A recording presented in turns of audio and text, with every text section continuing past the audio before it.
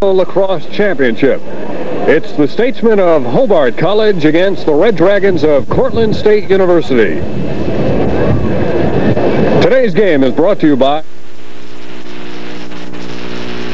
Light to any beer you like.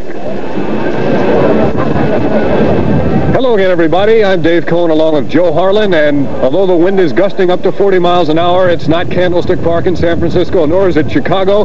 We're in the Finger Lakes region of central New York, known for the wine-growing areas, known for the Grand Prix at Watkins Glen, and of course known for lacrosse today, Joe. Hobart and Cortland, the Division Three championship. This ought to really be a barn burner today. A bloodbath is what people are calling this. Six to four was the score before when Hobart had to go to Cortland State, and that was Hobart on top. Had an opportunity earlier to talk to Chuck Winters, the head coach of Cortland State, to find out if he was going to do anything different today. Chuck, the last time these two teams met, Hobart was the victor 6 to 4, and it was on your home turf. What's going to be different about today's game, and what different tactics are you going to take? Well, Joe, we had four boys injured in that game. Uh, didn't suit up, didn't play, and I feel that's going to have uh, uh, that's going to give us a big advantage today. It should be a little different from a from a defensive standpoint. Offensively, we had one goal taken away from us. Would have made it a 4-3 game.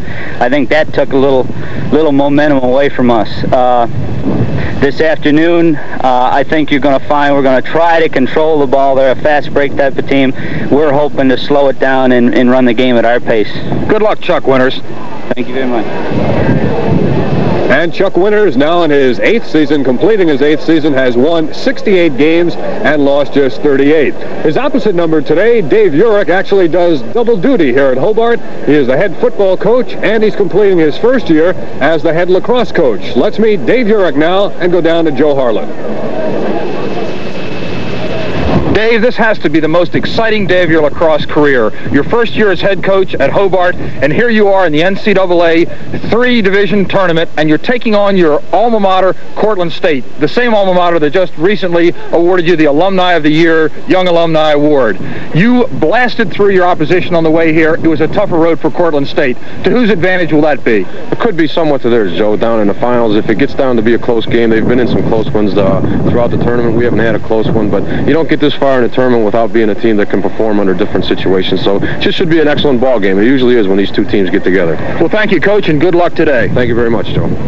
And so now you've met the two head coaches, Chuck Winters of Cortland State, Dave Urick of Hobart. We'll return to meet the starting lineups in this NCAA Division III National Lacrosse Championship right after these words. Now here's the starting lineups. First for the visiting Cortland State Red Dragons, number 32 midfielder John Kerner. Kerner has uh, 18 goals and 11 assists uh, on the year for the season for a total of 29 points. And he's joined in the midfield by number 23 Bob Leiden, the All-American out of Levittown, New York. Leiden, 6 and 6 goals and assists for 12 points on the season. Now on the attack for uh, the Cortland State Red Dragons, number 14 is Bob Russo out of Brewster. Russo has 25 goals this year and 7 assists. Joining Russo on the attack for Cortland State is number 13, Terry Davis. Davis, 18 goals and 15 assists, part of this high-powered offense. And one of the many Levittown, New York players on the Cortland State team.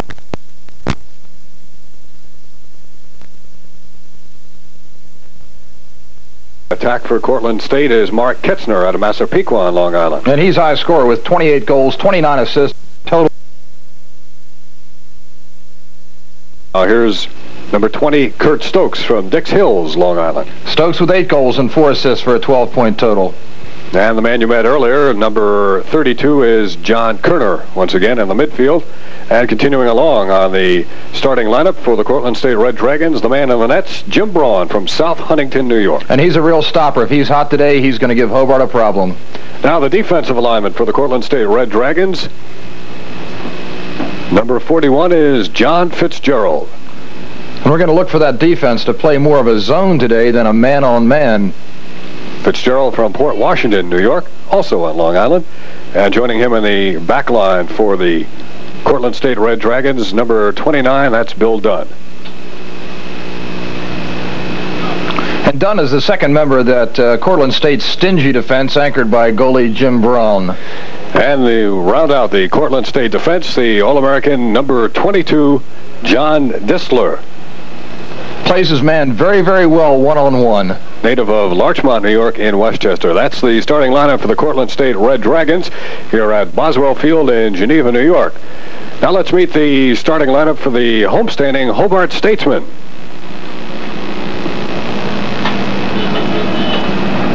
Number 31 is midfielder John Feinstein. Feinstein has 13 goals and only three assists uh, on the year for the Hobart Statesmen. Also joining him in the midfield, number 21, a very clever player, Mark D'Arcangelo. Mark D'Arcangelo, the third highest scorer on the team, 23 goals, 14 assists. The bulk of the scoring from the attack, and here's the most valuable Hobart player, Roy McAdam. Roy McAdam, the number one player on the team, 42 goals, 20 assists, a total points of 62. And the crafty little attack man, Scott Petosa, out of West Genesee High School in Syracuse. Petosa good for 16 goals and 15 assists. And the third member of that close attack for the Hobart Statesmen is number 34, Jeff Naus. Naus not much of a feeder with eight assists, but a great goal getter with 26. The big man in the nets for Hobart, and he's big, is number 19, Guy Van Arsdale. When you look to the goal, you don't see much space between him and the pipes. From right here in Geneva, New York. On the defense for Hobart, number 28, Pat Plunkett. Watch for all these defensemen that you hear upcoming to play really, really aggressive defense today. Joining him, one of Hobart's uh, leading rushers in football is Ed Cooney. There was a time when football players were strictly defensemen, but uh, now they play all positions. And the third member of the defense for Hobart is number 32, Steve Wood. And rounding out the starting lineup, not seen here, Larry Grimaldi in the midfield. Grimaldi, one of the top offensive players, the number two point getter on the team, 19 goals, 21 assists. We'll be back with more from Geneva right after this.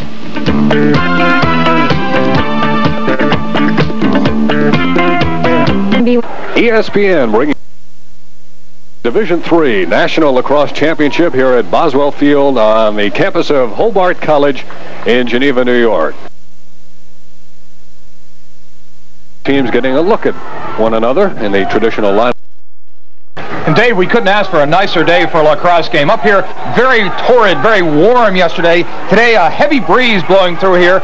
Shouldn't affect the lacrosse game, except perhaps it'll give the players a little more stamina because it'll keep them a little bit cooler. As we watch the watch now the traditional face-off that starts every game, ball being placed between the two sticks, player to draw it out one against the other. And now for the start of today's game, for the play-by-play, -play, Dave Cohen. That's Bill Sipperly on the left and Bob Lydon on the right. Jake Curran, the official in the middle. Gets them straightened away, and the first face-off of the NCAA Division III Championship has a push called against Bob Lydon of Cortland State. And of course, because that's a loose ball push, it merely means loss of the ball. So it'll be the men in white that will start out on the offense to begin with. And the team in white is Hobart. Number 10 with the ball is midfielder Bill Sipperly. And here come the Hobart Statesmen on the attack for the first time. They play 10 men aside, and this is Sipperly behind the net coming out and looking on the wing now for 21, Mark Darcangelo. Now out to the point, and the Hobart fans immediately going into a goodbye Cortland chant. Hobart losing the ball outside of the box and scrambling to regain control, Scott Petosa. All-American out of West Genesee High School in the Syracuse area. Good stick check and the ball taken away by John Fitzgerald. And now here come the Cortland State Red Dragons on the break. And they want to slow it down to be a little bit more deliberate. Firing, shot, and scoring. They didn't live up to their previous billing. They came right in. We talked early on about the possibility of them slowing the ball down, but instead they took it right to the cooker, and we'll see it coming up here once again. Driving right down the middle, bounce pass, bounce feed off bounce goal off of this very hard dirt surface, difficult for the goalie to follow, and first blood is drawn in this game. That is Kurt Stokes coming up with a goal, and Coach Chuck Winter said he'd like his team not to get caught up in that fast break type of offense that Hobart is planning the play.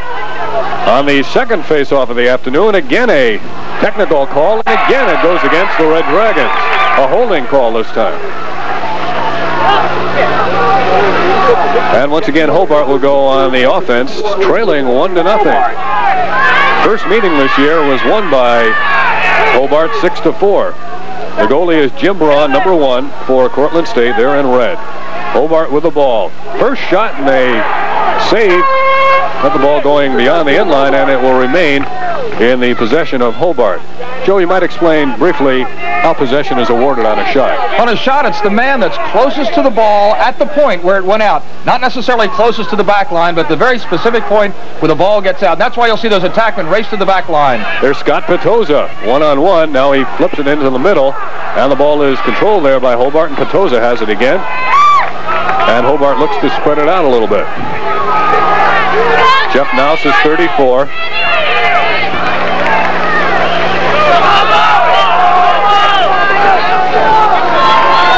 Teams playing at equal strength, and Petosa has it outside.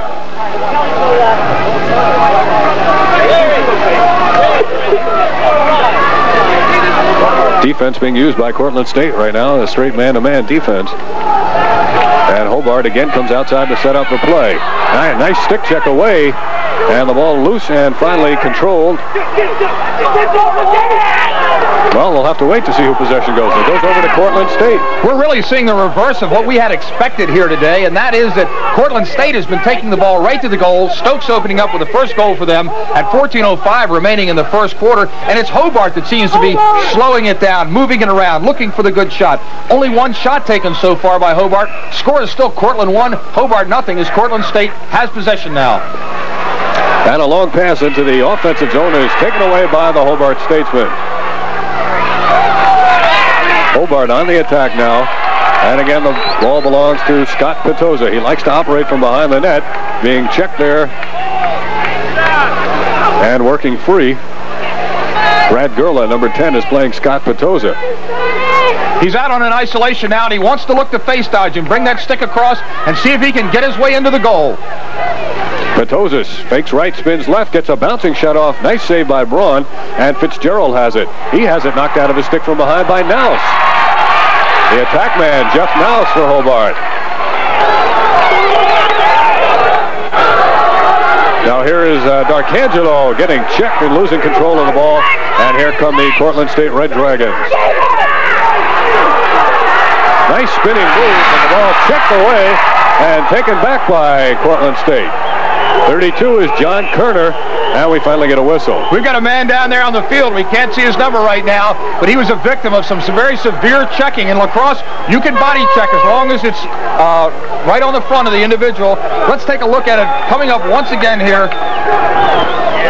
Check occurring there. He is slapped across the, the face with a stick, ball on the ground, and he looked, took a number 10, took a little shot with the back of the stick right in the face, and he's lying down on the ground still. That's, of course, number 10 for Cortland State, Brad Gurla, the freshman attackman from Mamaroneck.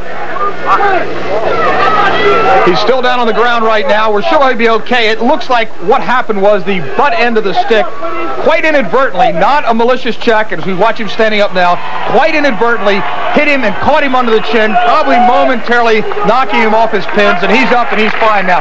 Now, if he isn't taken out of the game, Cortland will be required to take a timeout. That's the rule. So I would think that he'll be taken out of the game right now, rather than Cortland using one of the two timeouts lacrosse teams have for half. And that's exactly what's happening. Brad Gurla came in with uh, five goals and six assists on the season. One of the many uh, Long Island players in this game today. Two New York State teams and almost uh, exclusively all New York State talent on the field. Number six is Larry O'Leary, All-American midfielder for Cortland State. O'Leary gets hit on the head. Delayed call coming up. O'Leary feeding. Here's the shot from it. Close to the score by Terry Davis. Woo! That was really taking a beautiful advantage of a delayed penalty call. It's almost like getting a free shot. You know you're going to get the ball right back. A wrap around the neck, probably going to be called a hold. We'll discuss that a little bit further later on. A technical penalty is erased by a goal, and uh, if it is a personal foul, if it was called a check, it will be, in fact, uh, an extra man situation. Let's take a look at it coming up again. Rolling around, he's going to be checked and held right under the neck there, across the head, and he's really being dragged down. Now, that's strictly a referee's discretionary call as to whether that was, in fact, a hold or whether it was a slash. And it's been called a hold, so the goal will erase the penalty. Both teams at even strength right now. Cortland State on top, 2-0. And once again, uh, Hobart controls the face-off. Now we've got a call before the play can get underway. It's an off offside call, I believe. That's right, and it's going to be a technical loose ball penalty, which means there will be no extra man situation. In lacrosse, if it is a personal foul, the team offending will lose a man for one minute. But if the ball's loose and on the ground, and it's just a technical call, such as offsides or holding, then the ball merely goes over to the team that was offended against. Now, here we have a re-face-off because both teams were offsides, and uh, the face-off will go over again. After every goal, there's a face-off. I believe what happened then is the uh, attack man jumped into the center area of the field where you cannot be until possession is maintained. And off the ensuing face-off, juggling the ball and finally controlling it is 23 Bob Lyden. Lyden, uh, an All-American in his own right. Now let's see if Cortland can get out of their own end of the field without too much trouble. They feed it in the middle to Larry O'Leary. O'Leary up ahead for Davis. He scored moments ago. He's quick, and he sets up on the left side. Now let's see if the Cortland State Red Dragons play it deliberately or not. Six again, Larry O'Leary. He has it knocked away and taken down by Hobart. As you can hear, a very highly partisan Hobart crowd here cheering on their team. Hobart so far shut out in this game with a little over 10 minutes remaining in the first period. Nice move by uh, number four, defense, uh, Mark Ketzner, attack man, and knocking that ball away. And here's O'Leary controlling it. He almost lost the stick, but the ball stayed in it. Now up to Ketzner. Ketzner, 28 goals, 29 assists on the season. Ketzner fakes left and continues right. Now behind the net. Pointing out instructions with one hand as he slows it down and starts his move.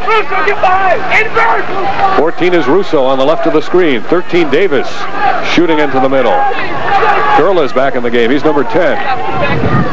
Cortland State's looking to drive from behind, and if the backup man comes to the midfield, they're going to feed it off. Right now, very good defense being played by Hobart on the man. Mark Ketzner still controlling the ball. Here's Gurla cutting through number 10. Davis is working in front of the net. Now Kirchner goes to the right side. Russo 14 is outside. Here's a shot. And uh, the partial save made by goalie Guy Van Arsdale, and it still remains in possession of Hope of uh, Cortland. Once again, John Distler racing to the back line, wanting to be the first man closest to the point where the ball goes out of bounds so that Cortland State will retain possession after the shot. Cortland State, as predicted now, David is starting to slow the ball a little bit, going to a deliberate one-on-one -on -one offense, uh, looking for the backing man to come. In other words, if a man slides off the midfield to help out, they're going to feed out in the midfield. Otherwise, it's going to be one-on-one to the goal. There's Terry Davis, 13, spinning, trying to get the angle for the shot. Down he goes. And he takes a heavy hit before the ball is regained by John Kerner. Kerner's pass outside is loose, rolling toward midfield. The battle is on for the ball now. And it's flipped ahead to Russo and taken down again by Kurt Stokes of Cortland State. He loses it. And can Hobart come up with the ball? They can. Hobart's starting to get a little more aggressive. They came out on this field today, I think, David, with the thought that this ball game was theirs. Since 1972, they've won the Division II-3 championship. Used to be a combined championship until this year. They've won that four times. They beat uh, Cortland State earlier on this year, and I think they came out a little lethargic. Now they're starting to show a little more of the drive that got them here. Ten times these two teams have played in NCAA tournament competition. Eight times Hobart has won, but Cortland won the biggie in 1975, winning the national championship 12-11. Now here is Hobart on the offensive. That's Scott Petosa. Shoots. Scores.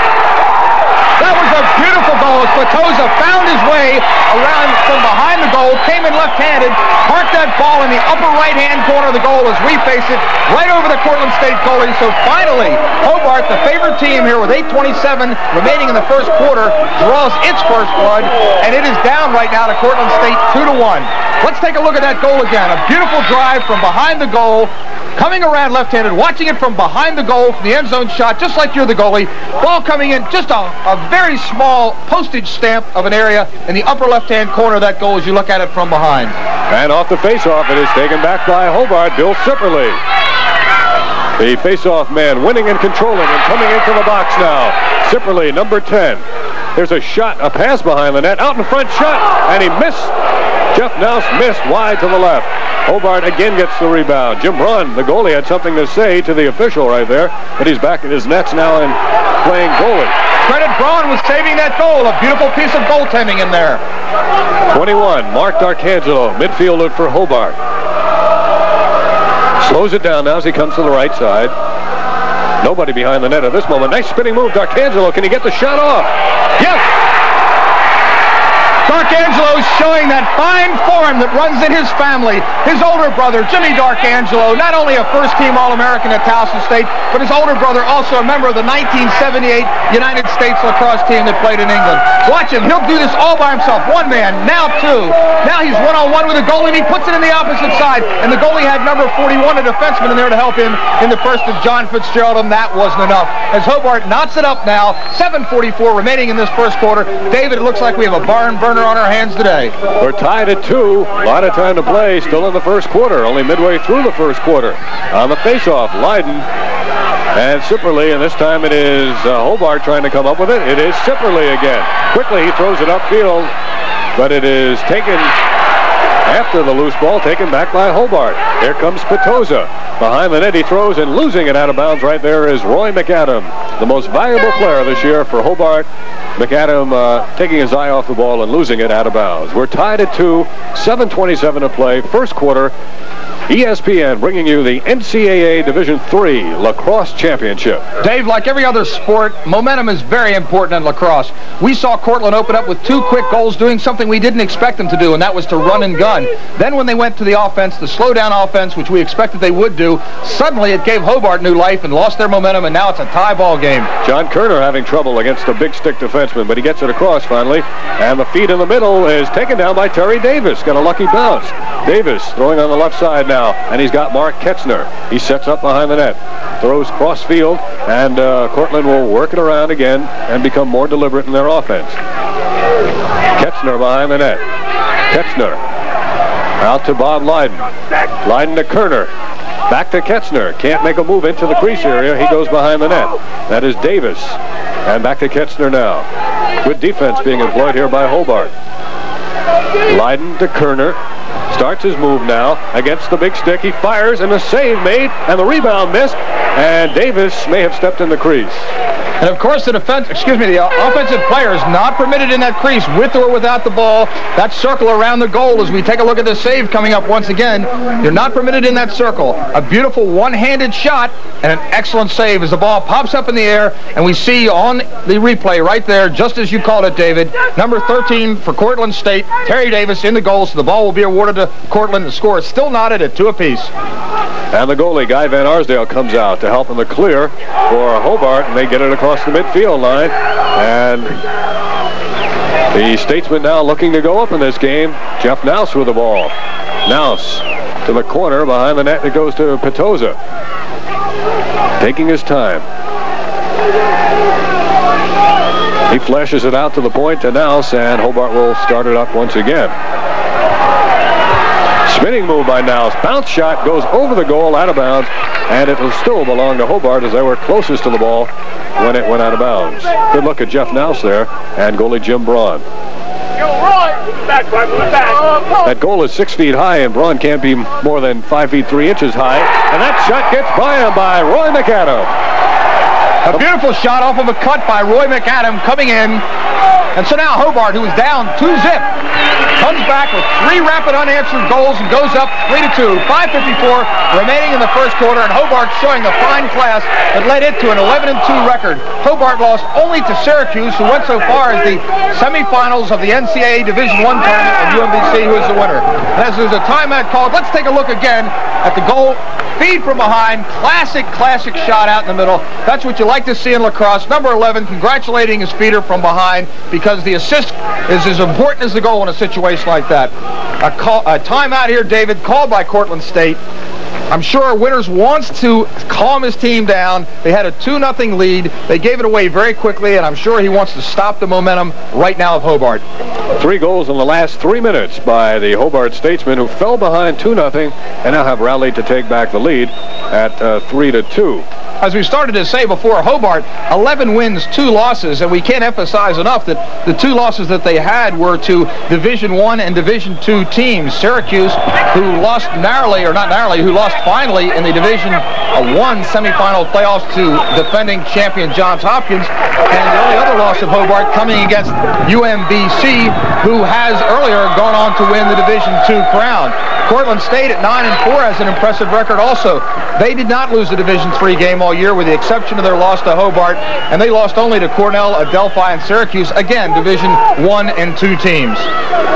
I think it's safe to say that we talk about Division One, Two, and Three in lacrosse, but more so than any other NCAA team sport, the teams can play very, very close in terms of competition. There isn't any doubt that a number of the Division Two and Three teams, at least a few, may well have made the Division One tournament if they had elected to be Division One schools this year. This is Hobart controlling. They have the momentum and they have the ball. Number 14 in control is Ed Cooney, a fullback on the football team. And uh, he loses and finally Cortland State comes away with it. But their clearing pass is loose at midfield and uh, the ball is still loose and Petosa tries to hack it ahead. And finally it's tracked down by Cooney. The defenseman with a big stick, he loses.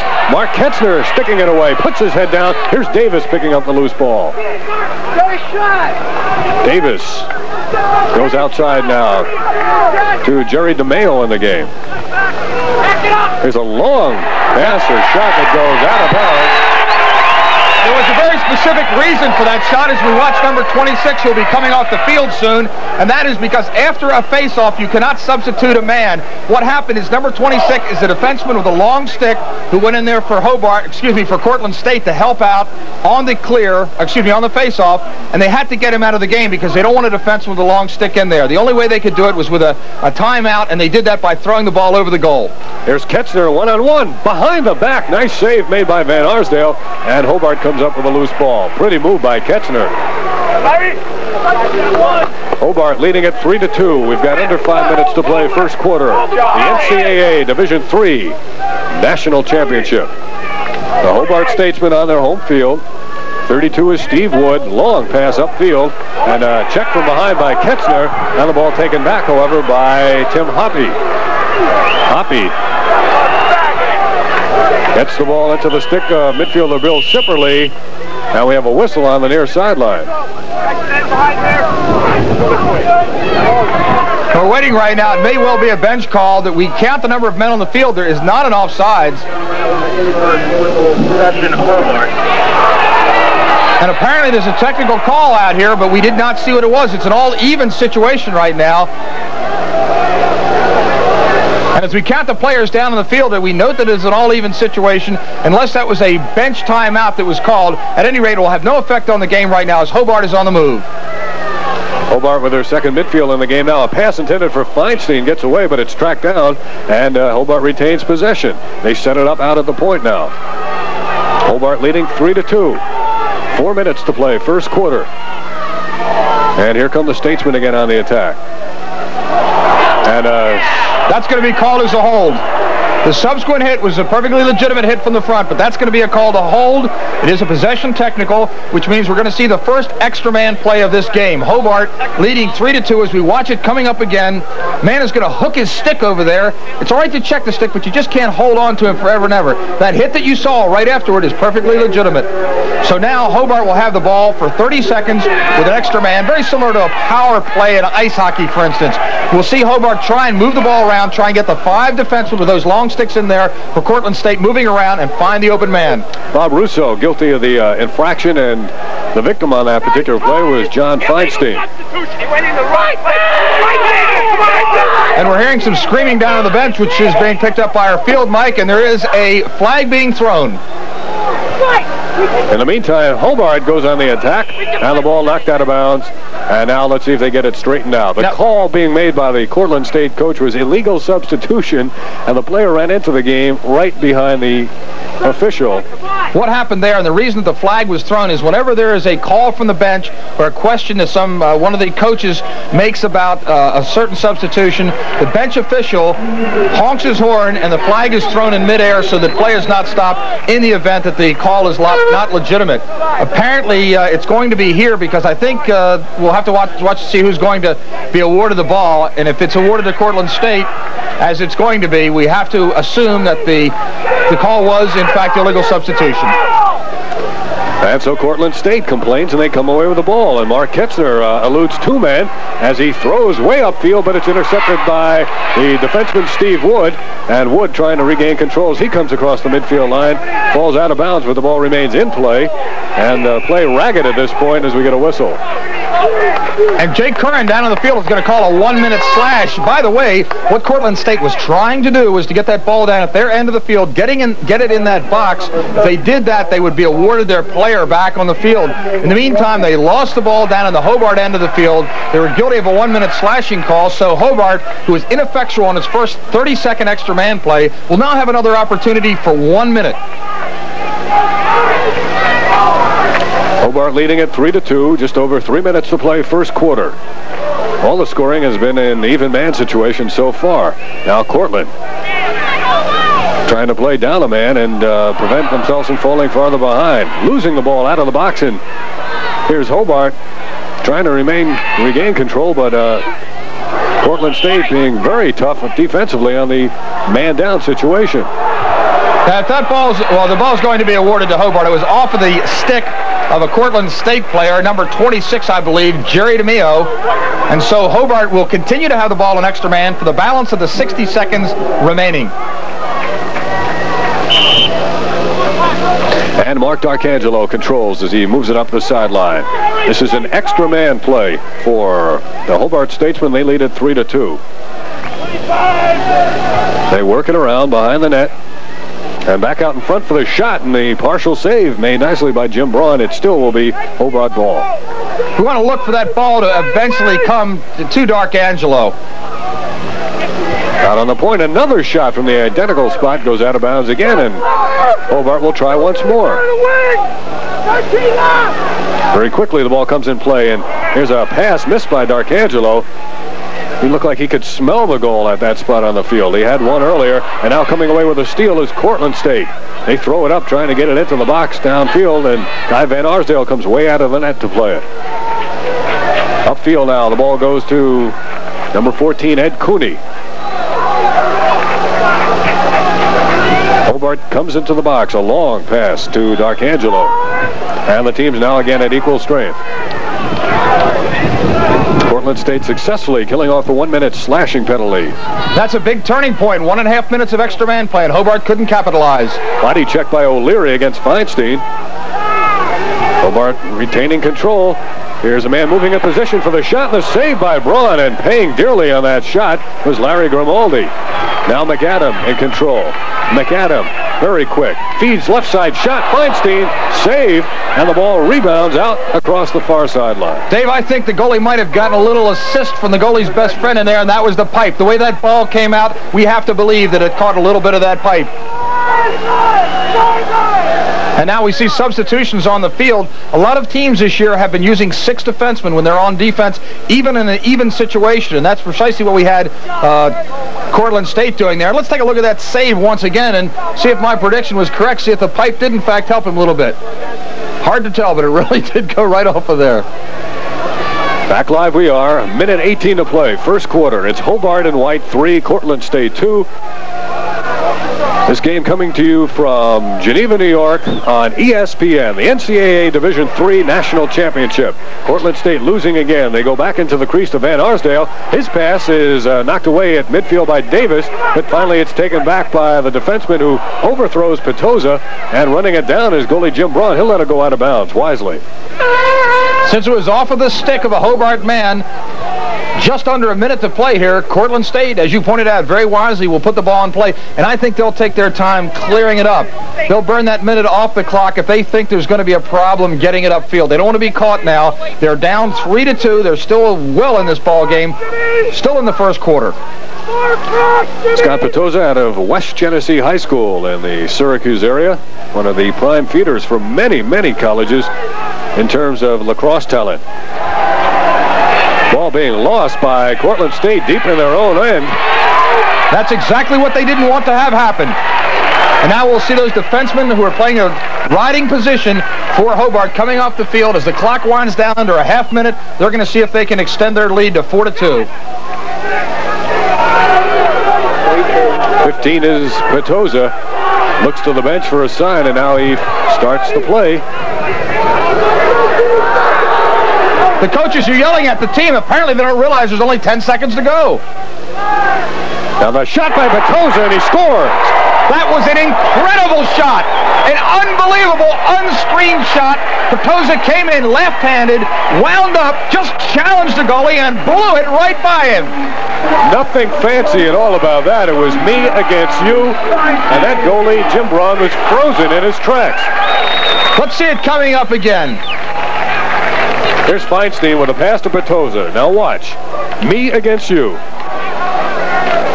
No screen at all. And he just parked it inside, right on the left side of his belt, which is the most difficult place for a goalie to save because it's opposite his stick side. Only four seconds remaining. David, I don't think we'll see much more than the faceoff now as Hobart has gone up 4 to 2 before the end of this quarter. It's Bob Lydon and Bill Sipperly, and Sipperly wins it again, and there's the horn, the end of the first quarter of play.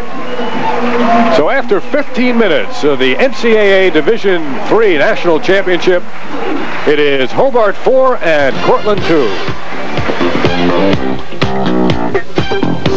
Going along with Joe Harlan here in Geneva, New York. Joe, the first quarter stats. I'll tell you, Hobart has really dominated the faceoffs. Out of the seven faceoffs in this quarter, Hobart gets me back in the action. Advil. shooting Cortland. Two bulge. Saves. Cortland has four. Hobart two. And both teams have been unable to score on extra man. I team that's had an opportunity on extra man, they're 0 for 2, and that was a very tough goal that ended the first quarter for Cortland State because they had been a man down for a minute and a half against Hobart, had thwarted them twice, and then just when they seemingly had the ball and could clear it out and come away with only a one uh, goal deficit, Petosa came in there and just cranked one in and put Hobart on top 4 to 2. David? Second quarter face-off now. The team switch sides. And new face-off man on, on this play. It's Kurt Stokes, but Hobart wins the face-off again. That's now 7 to one in face-off advantages. Ball goes out of bounds, and possession will belong to Cortland State. And you see on the sidelines the uh, Cortland State coaches signaling with their arms uh, in an upright fashion. They're saying that the Hobart team is warding off or pushing off, and you can't push the man away with your stick, uh, with your off hand off of the stick. Here's All-American Larry O'Leary, slipping but maintaining control. Nice uh, balance by O'Leary. O'Leary comes to the goal line. Now he spins away from his man, and he moves in on the net. His pass is not picked up by the intended man. Ed Cooney instead has now for Hobart. Fleet-footed defenseman. He's a fullback on the football team. And Cooney comes the other way now. Cooney leaves for Mark Darcangelo. He's got one goal in the game already. He's into the box with a feed down low and a shot and a save by Braun. The rebound taken by Grimaldi, and he leaves now for McAdam. Number 11, Roy McAdam. Look at that repeated stick check. And finally the ball knocked away but taken back by McAdam. McAdam, good speed. Played by O'Leary. Goes behind the net to Petosa. Grimaldi is number 12. Instead it goes out to the point to Darcangelo who shoots and misses. But the ball will stay in the hands of Hobart. You don't have to beg Darky to shoot. He'll let that ball go and He has a license to shoot from outside. He's equally strong left and right-handed, but you'll see him go to his left a lot, which he really likes a lot more. A lot more power in his left hand. Petosa. Bobby Russo gooses it in. And they go back outside now. And the rest of the Cortland people are And this is Grimaldi. And now again it is McAdam behind the net. Switching hands on the stick is just about every player can do nowadays. The feet in front, the shot and a save. Nicely by Braun. And uh, Cortland tries to clear it out in a hurry. Hey, Braun has had some game here. He's really kept them in in the early going. Ball still alive on the sideline. Bodies going down left and right. And finally we get a whistle that stops play. It's going to be a one-minute tripping penalty, it looks like. From behind, it's a pushing penalty, a pushing penalty from behind on number 34. That's Jeff Nouse who goes to the penalty box. And we'll see now if Cortland State can take advantage of the man-up situation. First opportunity for Cortland State. Hobart, as we pointed out, 0 for 2 in a minute and a half, a personal and a, and a technical foul. Unable to score. Cortland State needs a goal right now. Cortland State got their first two goals early in the game, and they get their third right here. Immediately taking advantage is number 14, Bob Russo. A very basic play, taking the ball off to the right side, feeding the middle as Russo's cutting it in. A beautiful bounce shot, the kind of shot every coach likes to see his players take. One that gets down on the ground, particularly on this very hard surface where there's no grass in front of the crease. Let's watch it coming up again. A nice feed coming right across. Man cutting in right-handed. He's going to bounce it down on the ground and right past the Hobart goalie. And so Cortland State is right back in this ball game, trailing three to four. Really no defensive help. He had a nice shot right down the slot. Here comes Hobart, and a nice steal by the big stick defenseman. And coming away now is Mark Ketzner with the ball. Ketzner, number four, gets a push and saves the ball inbounds. And it is loose in front of the net, and now having to track it down is Van Arsdale. Four to three, Hobart leading Cortland. Second quarter with 12 minutes, 35 seconds to play. Van Arsdale throws it way up to Steve Wood, who's 32. Oh, Davis comes over to bother him, and they get it into the box. McAdam behind the net to Petosa. Back to McAdam. Deflected away nicely by number 22, John Gissner, All-American defenseman. Now Nouse out of the penalty box has the bouncing ball. Nouse takes a body check, loses it. The ball loose. Petosa, does he have it? And it goes by the crease, and closest to it as it goes out of bounds is Jeff Nouse. Those uh, crease attackmen or any offensive player out there can use that stick just like a golf club. They can take a four iron and put it right in the goal by swinging that ball, and swinging that stick, hitting that ball on the ground. That's exactly what we saw, and the goalie has to be very alert for what they call garbage goals, and those garbage goals count one apiece. As Hobart now has the ball in play after being up by two goals, now up by only one. Cortland State renewed momentum after that last goal. And the pass thrown over the head of Mark Darcangelo and out of bounds. Gee, I wish the uh, the cup was as big as the net when I go golfing. it's a gorgeous afternoon here in Geneva, New York. Temperatures in the mid-70s, little humidity. It is breezy, so it's comfortable just about no matter what you're wearing. This is beautiful uh, country up here, David. Flying in here this morning, looking over the Finger Lakes. This is just a beautiful part of America. One of the wonders of the world, the Finger Lakes region. Number six is Larry O'Leary, one of the wonders for Cortland State. Now the Red Dragons set out behind the net. They're down by a score of 4 to 3, looking for the equalizer.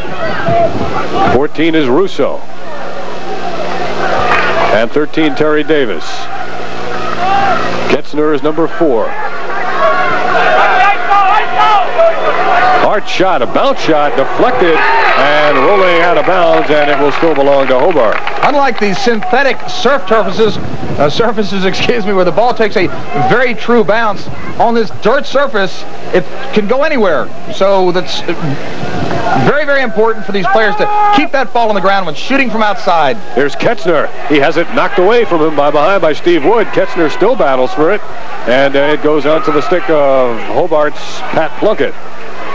The defenseman now flips on the side of the field where it's taken down by 41 John Cipher. John Cipher, by the way, is from Portland, New York. A lot of good goaltending on both sides. The only reason the score is 4 to 3. I think uh, if we'd had some lesser goalies in here today, David, we probably would have seen three or four more tallies on both sides. A good defensive game with some great offensive moves.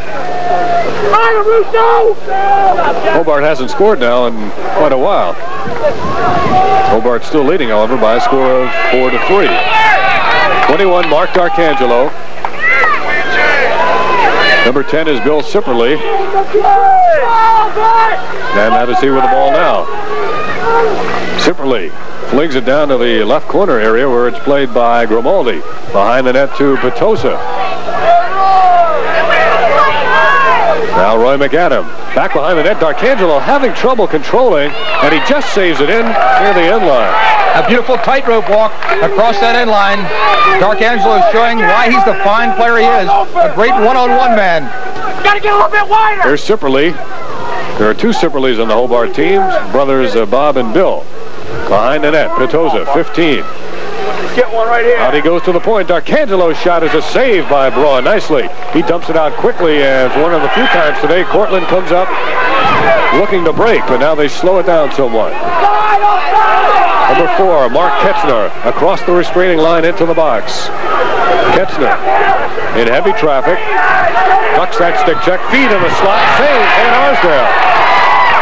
That was some save, a beautiful quick stick. I don't know how he did it. He couldn't have had more than a fraction of a second in that goal to make the determination to make the save, and the Hobart fans respond.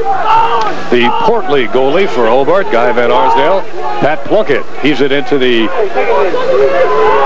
attacking half of the field. And here come the Hobart Statesmen.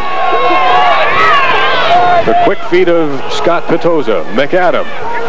Now to Darcangelo. Back to McAdam. Setting up in front is Grimaldi, number 12. Look at him on the crease. Back it goes now. Grimaldi releasing going behind the crease.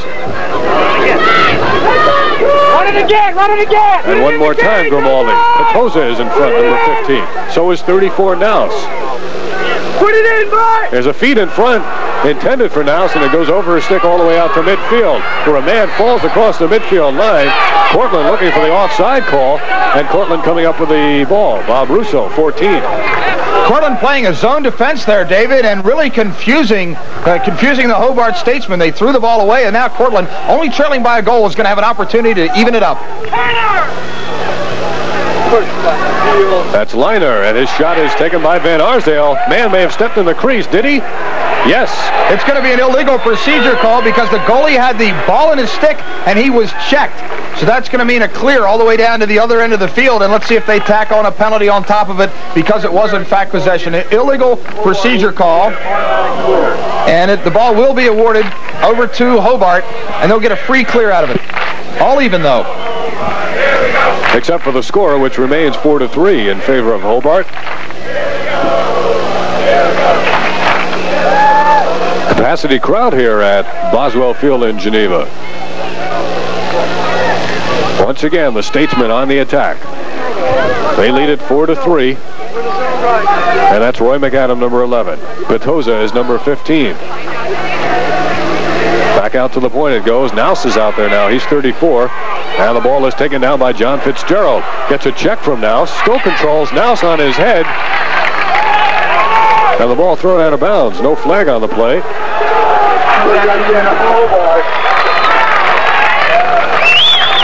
Just good defensive work there by Jeff Nouse.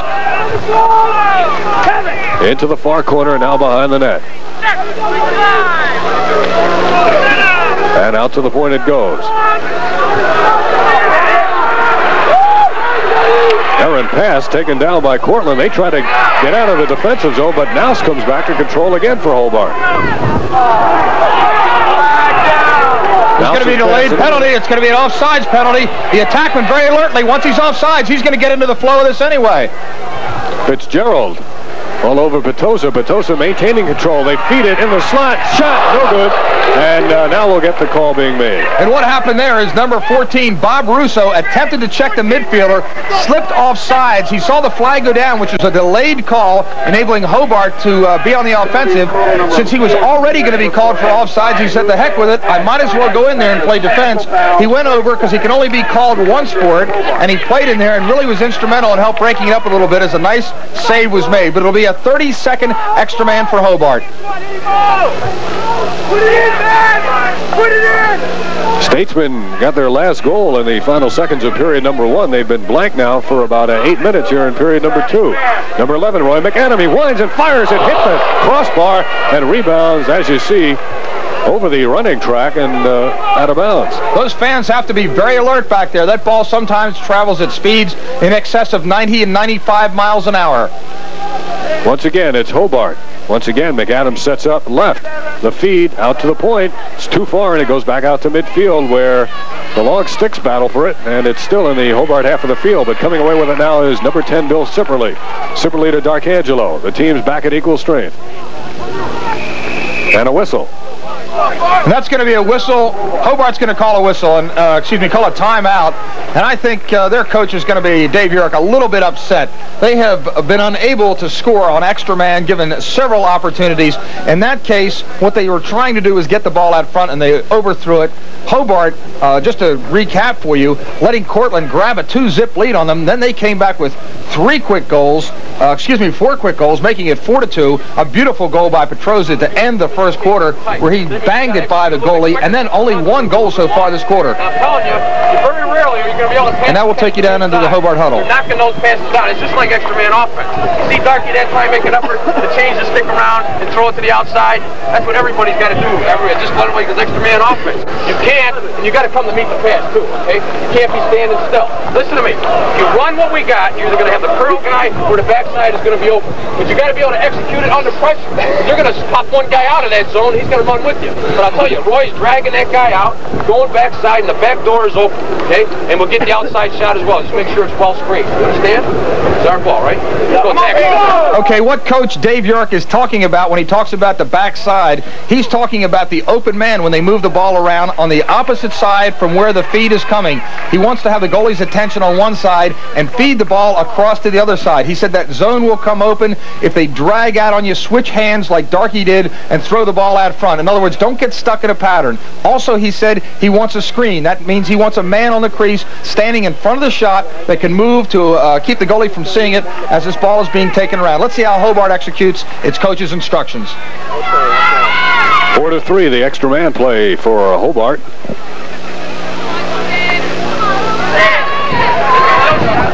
And good defensive work being uh, put on right now by Cortland State. Hobart has not scored since the closing seconds of period number one. And here's a nice deflection on the pass, and Cortland State coming away with the ball. 26 for Cortland State is uh, Jerry DeMeo. And a long feed goes down the field and out of bounds. Or does it? No, it stays in bounds. And again, here comes uh, Hobart on the attack. Bill Sipperly having trouble, and he has it knocked away. It goes onto the stick of Russo, and his feed intended for Ketzner goes out of bounds. Ketzner had a sure goal if he had handled the ball, but he made the same mistake that an end makes in football, and that's that he took his eyes off it before he caught it. Let's take a look at it again. Ball coming down on the right side. They'll be looking to throw it across. A man standing there naked on the crease. All he had to do was catch that ball. A three-year-old child could have put it in the goal, but instead he tried to let it go and tried to pull the trigger before the gun was loaded. Run out and get me a three-year-old. It's still 4 to 3 with uh, Hobart leading Cortland State. Goalie Guy Van Arsdale flipping it over to Steve Wood, 32. And he throws it crossfield to uh, Mark Darcangelo. Into the box come the Hobart Statesmen. Jim Braun, the goalie for Cortland State. Slipping and falling and losing control right there was number 15, Petosa. And the indication is that his foot was out of bounds when he handled the ball, which means that Hobart will now take possession of the ball. David, how many times have we seen in sports two top teams meeting in a championship, two teams that have the ability in any sport, football, basketball, whatever, to score a lot, and when they meet each other, they seem to have a tremendous defensive effect on each other, just like we have here today. Loose ball in the midfield area, and somebody jumped over offside. And it's going to go in the favor of Cortland State. So the out-of-bounds favor is returned with an offside ones by Hobart. Cortland State trailing by a goal, 4.31 remaining in the half. Will have an opportunity once again, as they've had numerous times, to tie it up.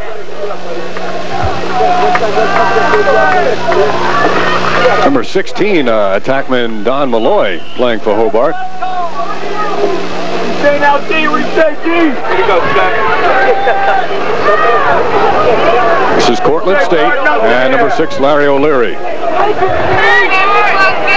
Outside they go to Mark Ketzner. Starts his drive. He's into the box. Ketzner shielding the ball nicely. Ketzner flipping, intended for Davis, and it's taken in by Van Arsdale. And they slough off the goalie. Now Ketzner's going to come try to bother him a little bit. But Van Arsdale dumps back for his defenseman. That's Ed Cooney. And it's Van Arsdale one more time. Three minutes, 55 seconds to play. First half, it is Hobart 4 and Cortland 3. Van Arsdale walking it slowly out of the box and flipping to Cooney and back to Van Arsdale. And now finally upfield. And here come the Statesmen. Jeff Nouse down low over on the side of Petosa. Back outside and deflected nicely and broken up by Cortland State. The battle at midfield. Cooney trying to swipe it ahead. And again, it's Hobart controlling.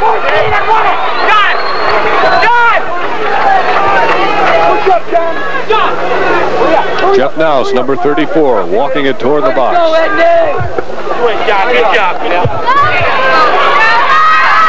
Now to Tim Hoppy in the game.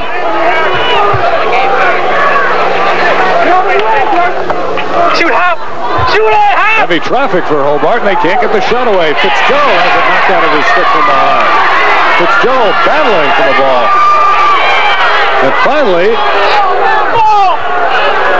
it is taken by Hobart. Feinstein, 31, but he loses it.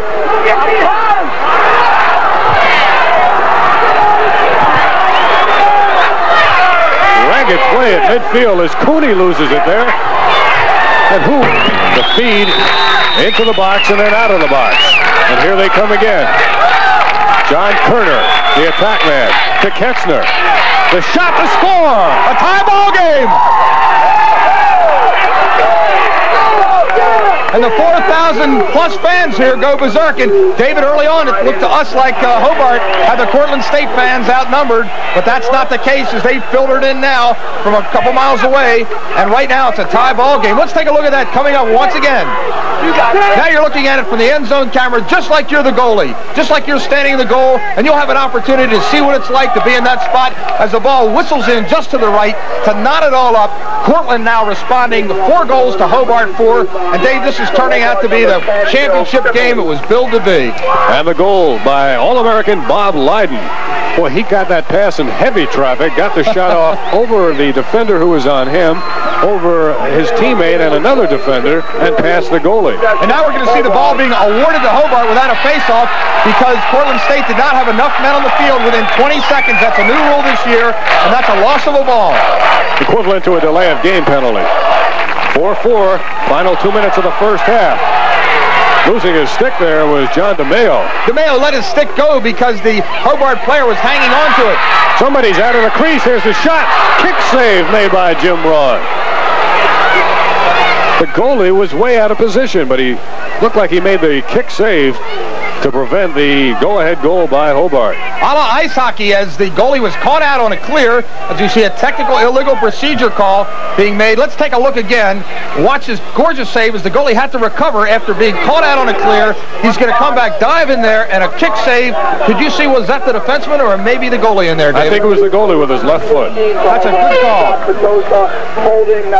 You can stop the body with any the ball with any part of your body. You can use your hands. You can't pick it up, but you can even use your hands knock it down, just like a puck in hockey. And now Cortland State, apparently with the momentum, is on the offense. A little over a minute and a half remaining at halftime. This could be a big goal. The team that scores next goes into the locker room perhaps with a lead.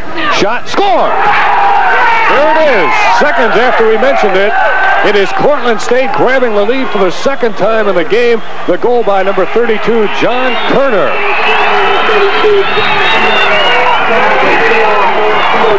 And all, all's fair in, uh, or excuse me, turnabout's fair play here. And they're returning the favor that Hobart gave them in the end of the first quarter by going up by an extra goal, by shooting it in there. And then Cortland State, after tying the ball game up with a little under a minute and a half to go in the first half, responds by putting in a beautiful goal against Hobart. On the face-off, again, it is Hobart with Bill Sipperly controlling. Five to four, Cortland on top. Sipperly quickly toward the box. Sipperly dumping it off at the point. Number 24 is uh, Mike Morfitt.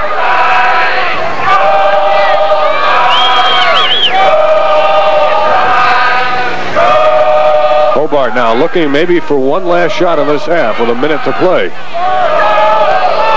Good defensive work. A double team by O'Leary and by John Distler. And Distler, the big defenseman, All-American, comes away with the ball. Now Cortland not only looking to clear as Fitzgerald comes across, but looking to take a two-goal lead before the half.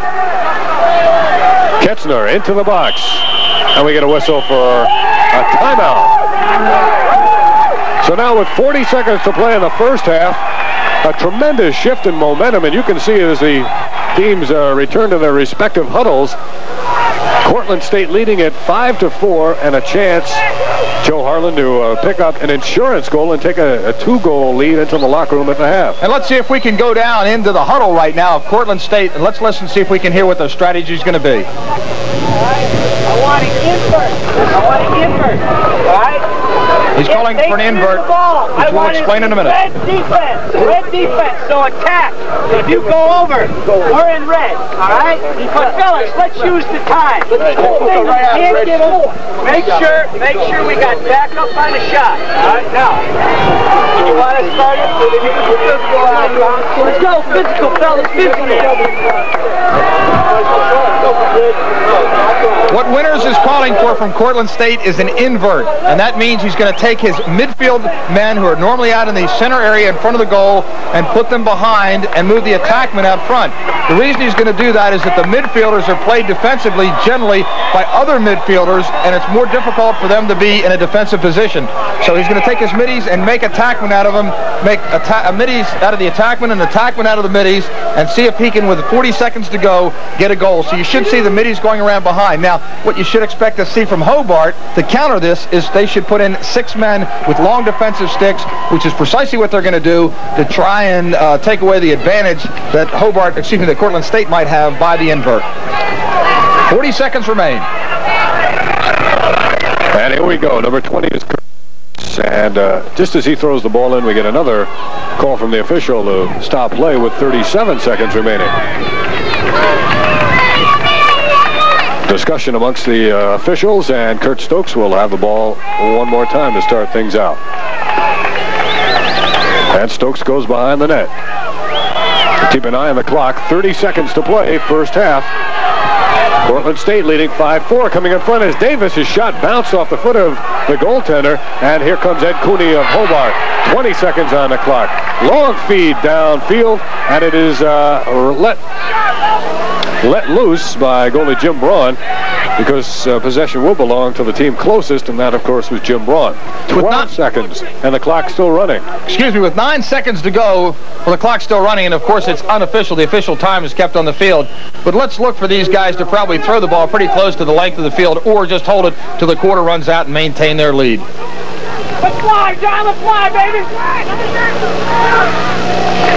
And the ball loose as it comes toward midfield. Clock has long since expired, the scoreboard that is. Now the game clock, I believe, has run out as there are some tempers flaring near the end of this first half. And that's brought quickly under control as the referees remind the players that they're here to play lacrosse. They're all good athletes, and they know that, and they want to go into uh, locker rooms at halftime and to discuss relative strategies here. I believe the officials uh, won't let that one get away. Larry O'Leary, the All-American defenseman for Cortland State, was involved in there, and we may see some penalties assessed as we come back to the third quarter. But for now, we're at the half of the NCAA Division III championship game with a score, Cortland 5 and Hobart 4.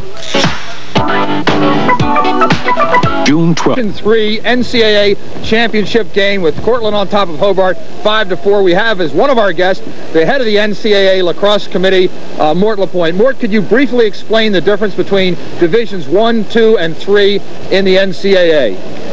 Well, Joe, it's uh, determined by the amount of financial aid that uh, is given. Division three uh, is, is not uh, allowed to give any aid. Uh, be, the difference between one and two, uh, one is allowed 80 scholarships, Division two, 60. but this football and basketball are not included. Division one, they're allowed, I believe, uh, 95 scholarships. Division in football, and in Division two, it's 45. We also have as our halftime guest the chief referee of the United States, Freddie Eisenbrand. Freddie, let us let us ask you a question between the difference between a technical penalty and a penalty that's a personal, particularly when we have a situation where there's a slow flag. What is the difference? Well, the, tech, the technical foul is usually 30 seconds or change of possession, or if it's a loose ball, you have possession uh, given to the offended team. The personal foul can be from one to three minutes or an expulsion, which is an automatic three minutes. A trick stick is an automatic three minutes. What happens now when I foul the opposing team and they're on the offense and they're going to the goal and that yellow flag goes up in the air and that team scores a goal? If it's a technical penalty, is the foul wiped out or does it stay in? If it's a technical foul, the foul is wiped out by the scoring of the goal. If it's a personal foul, the man goes out for a minute regardless of whether the goal is scored or not. Thank you, Freddie Eisenbrand and Mort LaPointe for that explanation. And we'll be back for more on halftime with Dave Cohen and some halftime statistics right after this. We're at halftime here at and uh, this young fellow uh, enjoying the game, although perhaps not the score. This was the high point of the afternoon for him, at least in the first half. Let's look at the halftime statistics, Joe, and see if they can give us any indication as to why Cortland has a lead on Hobart. Well, it's pretty obvious that uh, Cortland, although taking less shots, has really had a much better percentage on goal, 35%. That, in essence, means that every uh, third shot that they've taken has gone right in between the pipes. On the other hand, Hobart taking 22 shots to Cortland's 14. You have to figure that sometime along the game, if they continue to take that many shots, that they themselves are going to uh, get a lot more goals out of it. In re with respect to saves, Cortland's goalie playing a fine first half, keeping them in the ball game with eight saves to Hobart's goalie for five. But face-offs, what a telling statistic. Hobart 11, Cortland State 1. How many times do you see a team win 11 out of 12 faceoffs and trail at the half? It's incredible, and that cannot continue to happen. If Hobart continues to win the faceoffs, it's going to be a tough day for Cortland.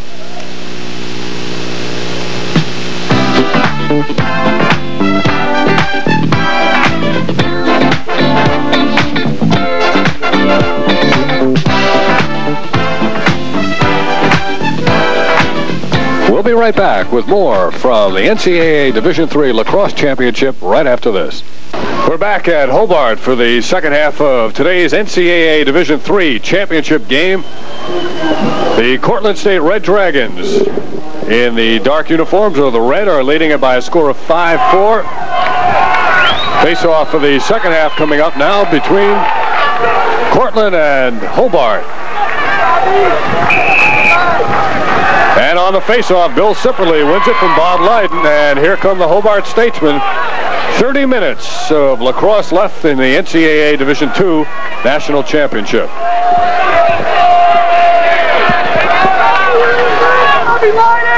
Into the box they come. And a pass knocked away and picked up by Cortland State. That is number 22 with the ball. John Dissler, the big defenseman, the All-American. And a whistle stops play. Jackson. And the Cortland State player raising his hand, apparently indicating that that penalty is going to inure to the benefit of Cortland State. 34 white one-minute slash. And there's going to be a one-minute slash called against Hobart. N number 34, Jeff Nouse. Let's watch it coming up right now. 34 caught him right on the head.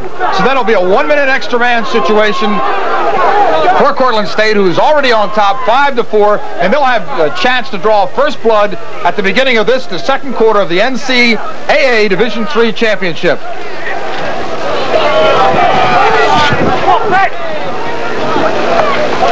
Number four is Mark Ketzner, and playing catch with him there is number 30. That's Mark Lazinski. Ketzner and Lazinski, and this is Ketzner.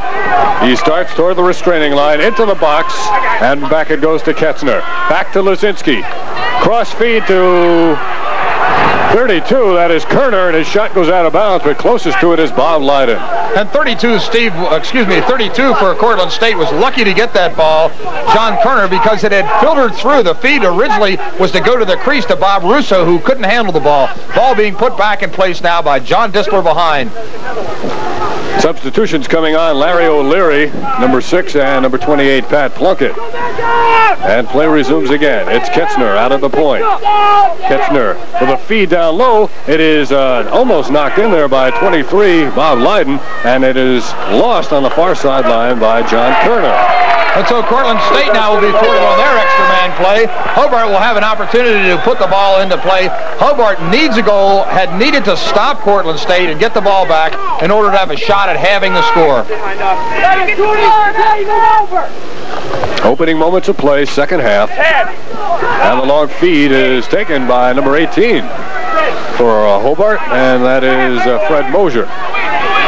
Now Hobart into the attacking zone, into the box. And Hobart will be even now. Hobart trailing 5-4. Long feed to the top of the box. Left-handed shot. Score! Crazy as this back and forth seesaw game once again is tied at 5 all. A beautiful bouncing outside shot as Hobart goes up 5 all.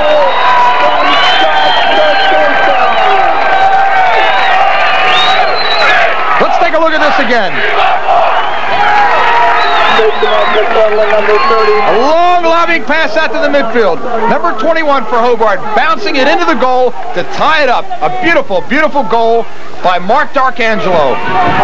And so we've got a new game now, tied at five. And here come the Cortland State Red Dragons. They dominated the second period, outscoring uh, Hobart three to nothing. Back up, back up, Larry O'Leary, midfielder number six. Hold the key! Hold the big key! O'Leary slowing it down now. He's checked over there by number 18, Fred Mosier. O'Leary has it knocked away by Mosier. And taken down by defenseman Steve Ward. The big stick. He sends it cross field. Out of the net to help out if needed is Guy Van Arsdale. And here come the Hobart Statesmen.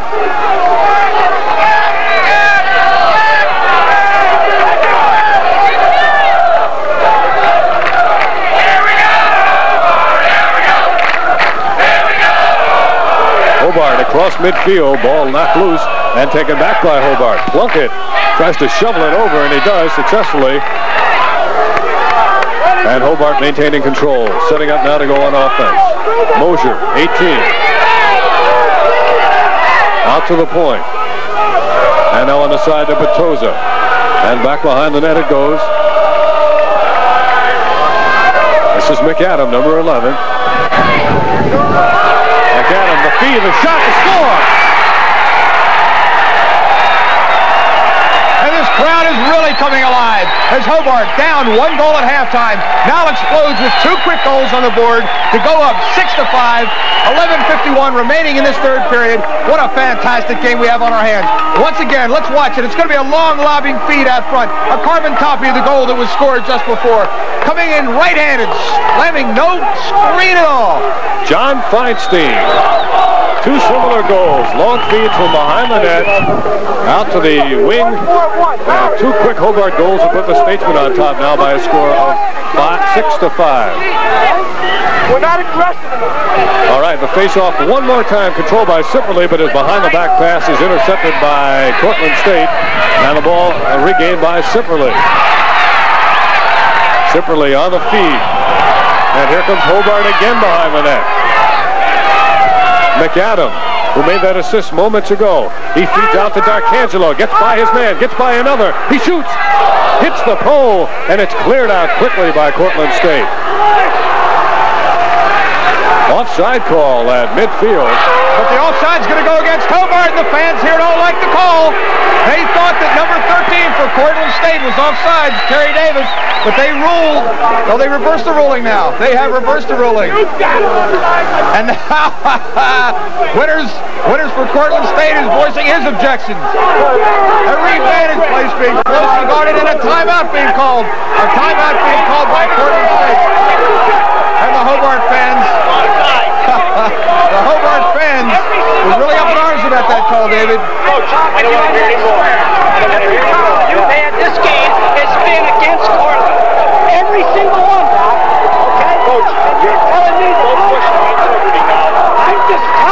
I didn't question anything. All right? Good. And Bruce is here. Okay, fine. Okay, I now. pointed the wrong way, okay? But I don't see your logic. My kid goes half over this line. I could see as he went over forward. Coach, he turned around and fell over. Well, then let's get Well, there's a rare moment in sports. Uh, the referee said to the Cortland coach, okay, I made a mistake. I called it the wrong way. And the Cortland coach said, hey, how about my boy that uh, got pushed over, got pushed over? And the referee said, well, he fell over the line. So, so in this heated battle, in which uh, Hobart has gone up six to five, they'll now have the ball in what was originally called an offsides against Hobart. And the score remains Hobart 6 and Cortland State 5. Hobart on the attack now. Number 11, Roy McAdam. Hobart slowing it down momentarily. McAdam again has it. Behind the net. Let's see if they can set a man up on the wing once more. McAdam reverses his field, goes back to Darcangelo behind net. This is Larry Grimaldi. Out to the point. And back on the wing. Bouncing shot gets by Jim Braun. He may be closest to it. No. Yes. The ball is going to be awarded to the goalie, and again, this is the situation. It's just not the man closest to the back line, but the man that's closest to the point where the ball went out, and that's why Cortland State has got possession now. 10.51 to play. Third quarter, and it is uh, Hobart leading Cortland State by the score of 6 to 5. And defensive pressure being employed by uh, Hobart as Cortland State has some trouble getting it out of their half of the field.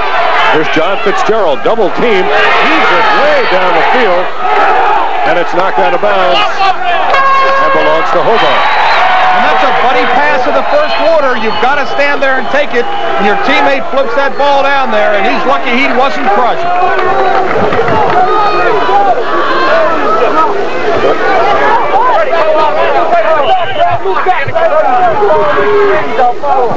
31 is John Feinstein. He scored moments ago. Spinning by his man now. And feeding down the sideline. Hobart moving the ball beautifully now. It's behind the net.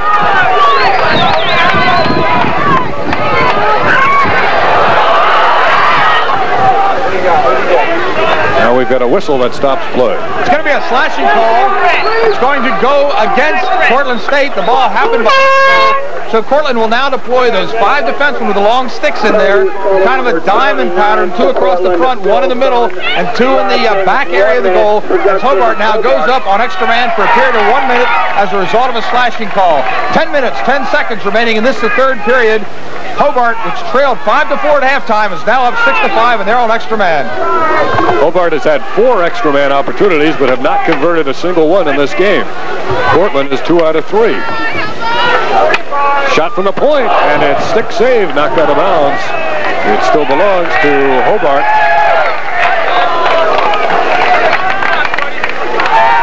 Larry Grimaldi is number 12, and he'll start the play.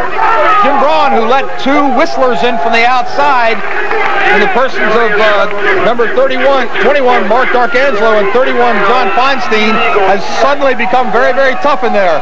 And now there's going to be another penalty called, and Cortland State will be down two men. So they're going to go into a box. Four men across in the middle. Six on four.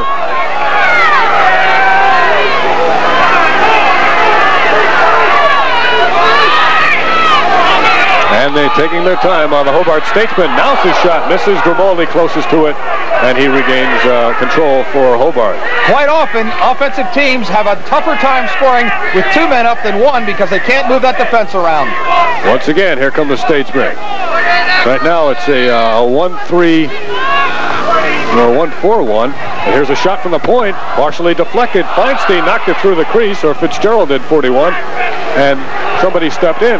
Boy, that's a big break. That's a big break for Cortland State, who is two men down if they get possession of that ball. Now, one of the men is, uh,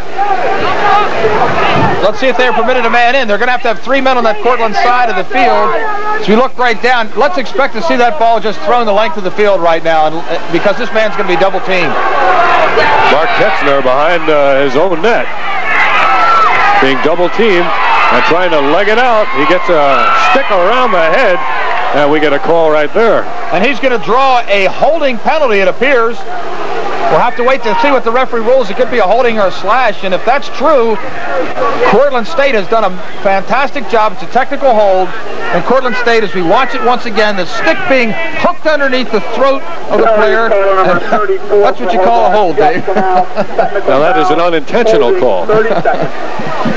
And the bottom line is that Cortland State, who is down two men and down a goal to Hobart, now has the ball on their extra man. They'll have to get that ball into the box. As you can see, they only have four men down on this end of the field. They'll have to get that ball into the box if they can, and that'll free up the other man. Here's Ketzner, and he gets into the box, and here comes the man O'Leary back on the field.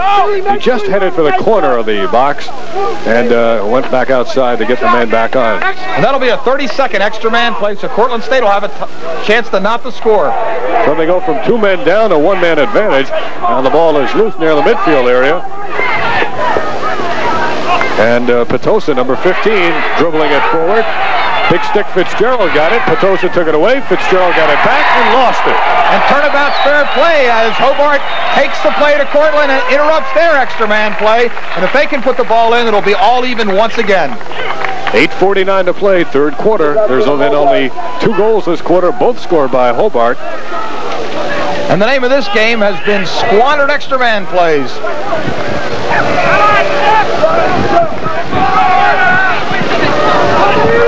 Here come the Statesmen once more. 15, Scott Petosa. Number 11 is Roy McAdam. There's a feed back behind the net to Petosa. He goes out to the point, throws it away. It's loose at midfield, and everybody stays properly on side. And Hobart regroups quickly. Here's Grimaldi in position. Nice point-blank shot and the save by Jim Braun. And he drew a hold going in there, too, from the defenseman. So once again, Cortland State is going to be on down man D. It's going to be the EMO, the extra man offense for Hobart. Watch him go to the goal. Watch him get a stick wrapped around him here. Here's the hold right there. He manages to evade it, and had that ball gone in the goal, he would have gotten the goal, and the extra man play would have been eradicated. But that is not the case. Hobart now an extra man for 30 seconds. John Fitzgerald, the guilty man. And once again, extra man opportunity for Hobart. They're 0 for 5 in the game on the advantages. Darcangelo, 21, back behind the net. They feed it now. Let's see if they can work that offside, off uh, wing play. There it is. And there it is. You it, Dave, they looked for the backside cut in the person of Dark Darcangelo, who snuck in behind. The feed came across the top of the goal into Darky's stick, and he pumped it in. As now Hobart goes up on top, seven to five, much to the delight of this huge throng here. Let's watch it again. Extra man play. They're 0 for 5 coming into this extra man play. Ball's behind. Everybody's looking behind. It's looped out to Darky. He takes one strut with a stick and flips it in the corner. He got number 26, uh, Jerry DeMeo, to commit. And then he stepped into the slot and fired to score his third goal of the game. It's now 7 to 5 as we return to live play. Hobart winning the faceoff, and again a call going against. It's going to go against Cortland State. Mark Ketzner on a slash. And it should be another extra man play. Let's take a look and see if that was just a technical call because we see Ketzner still in the ball game, and he should come out. I believe they called it on 13 uh, Davis. You're right. 13 Terry Davis, the attackman, was Ketzner voicing an objection. So Hobart again on extra man, now up by two goals. Big John Feinstein, the midfielder, beating the Mosier. Here come the Statesmen again. They work the ball around smartly. The feed to Darcangelo. This time he can't get the shot away. Instead, he goes back out to the point. Now from the right wing. Good defensive work. Knocked the ball from the man, Roy McAdam, but McAdam comes back with it. Over his head, back out to the point. Darcangelo feeds the middle. Shot is high and out of bounds. You've got to credit this Cortland State defense, uh, Dave Cohen. They have held Hobart to but one goal in five or six extra man situations, and here they are faced with it again. Don't worry about the play. Shot from the point, and uh, Braun got enough stick on it to knock it out of bounds.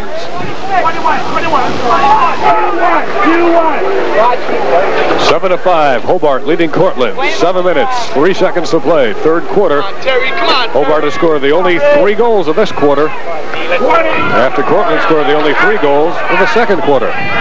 Larry Grimaldi to Darcangelo. They double team him now. Out to the point he goes. Shot. Saved by Braun. And the ball still belongs to Hobart.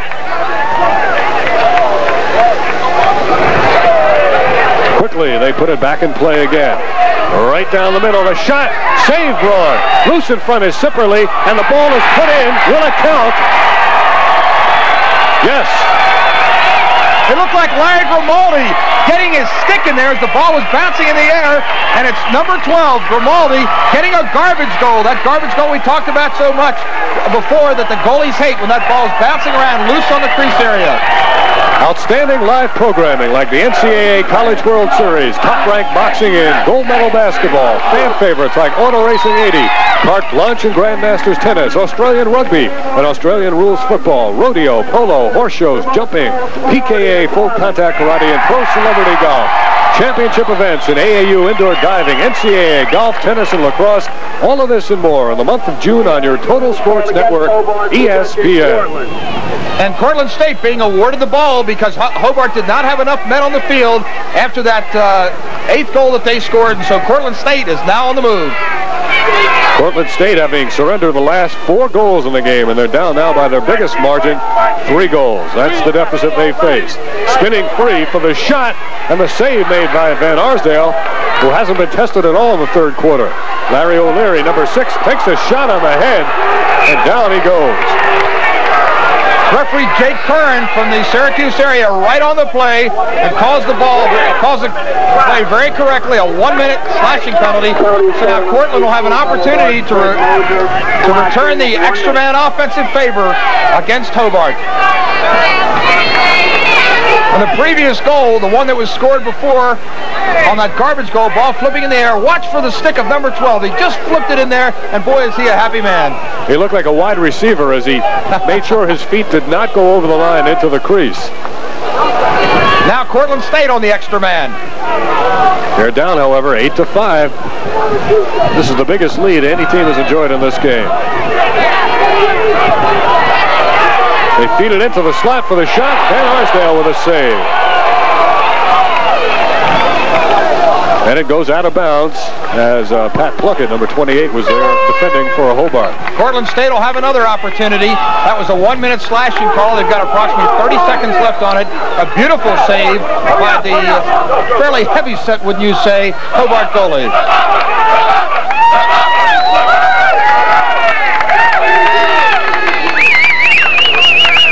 Cortland now putting the ball into play on extra man. Ketzner, number four, long shot goes over the head of the goalie and everybody, but Cortland, of course, closest to it, they will retain possession. 23 for uh, Cortland, Bob Lyden, the All-American midfielder. Quickly, they put it back in play. Again, it's Ketzner. He steps into the box. He feeds on the side to Kerner. Kerner back to Ketzner.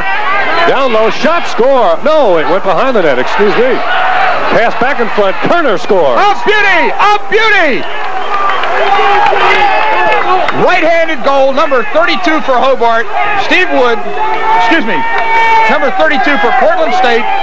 John Kerner as he right-hand rifles one low past the goalie for Hobart, Van Arsdale. And so Cortland State that quickly is back within two goals. This has been a game of spurts. And as we check the sixth goal by Cortland State, watch the shot by Kerner. And that was a very, very alert goal. The one before, the shot before had been averted. Man behind very alertly picked it up and flipped it out front. And now Hobart, once again, as they've done all day, has dominated the faceoff. Bill Sipperly, the man who has, uh, as you said, dominated the faceoffs. And quickly Hobart sets up on offense. It is 8 to 6. Cortland scored the first two, Hobart the next four, then Cortland the next three, then Hobart the next four, and finally Cortland scored.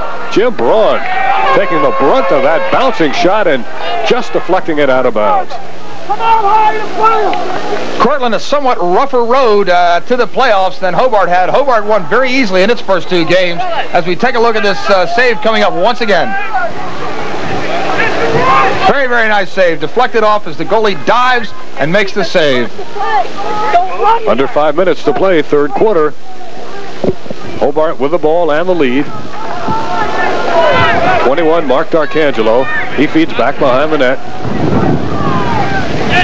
Roy McAdam from General Brown High School. They call him General Brown. Out to the point, the line, the fire. Jim Braun, nice save. Quickly, he outlets it to uh, Bill Dunn. And here come the Cortland State Red Dragons. They're heading for the box, and Larry O'Leary, number six, gets the ball. And they'll hold that ball so that they can get those defensive midfielders out there, put the offensive ones in with a short stick, so Cortland State can see if they can whittle away at this 8 to 6 lead enjoyed right now by Hobart. John Kerner, fake right, went left. He scored a moment ago. He still has the ball, and he can't get an angle for a shot. Bob Russo looked to set the pick. Kerner gets by him, knocked out of his hands from behind. Nice defensive work by the big sticks for Hobart. And now Hobart brings it across the midfield stripe. Hobart setting up quickly. Petosa, the feed, the shot, saved by Braun. What a gorgeous save in there. A fantastic save as once again Jim Braun is the man of the hour keeping his team in this game. Hobart having trouble picking up the ground ball. Terry Davis bats it ahead onto the stick of Ed Cooney. It's knocked loose, and it's still uh, anybody's ball, but Hobart regains it. They go back to Van Arsdale. He flips out this way and flips it too far, and now the ball will belong to Cortland State in the uh, attacking zone. Eight Cohen, six. a lot, excuse me, a lot of firepower out here. A real credit to both goalies, Jim Braun and uh, Jim, excuse me, Jim Braun for uh, Cortland State, especially holding the door closed. I would have expected that we would see an awful lot more on the scoreboard here than we've seen so far. Jim Braun stopped 11 shots in the first half, 11 saves, and only five for Guy Van Arsdale. Here's a repeated stick check by Mark Ketzner, and he cannot get the ball away. He was detected at stepping out of bounds. Jake Carr and the referee right there on the sidelines. Uh, Cortland State, very happy recipient of that call, and they'll be on offense now. Did you see the way that O'Leary kept hitting that stick, trying to knock the ball out of the, the stick of the Hobart player, and finally he succeeded in driving him out of bounds. O'Leary a little upset with himself at losing that ball in the midfield.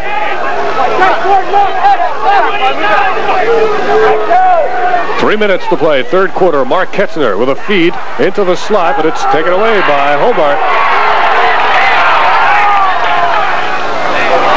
And regained by Cortland State.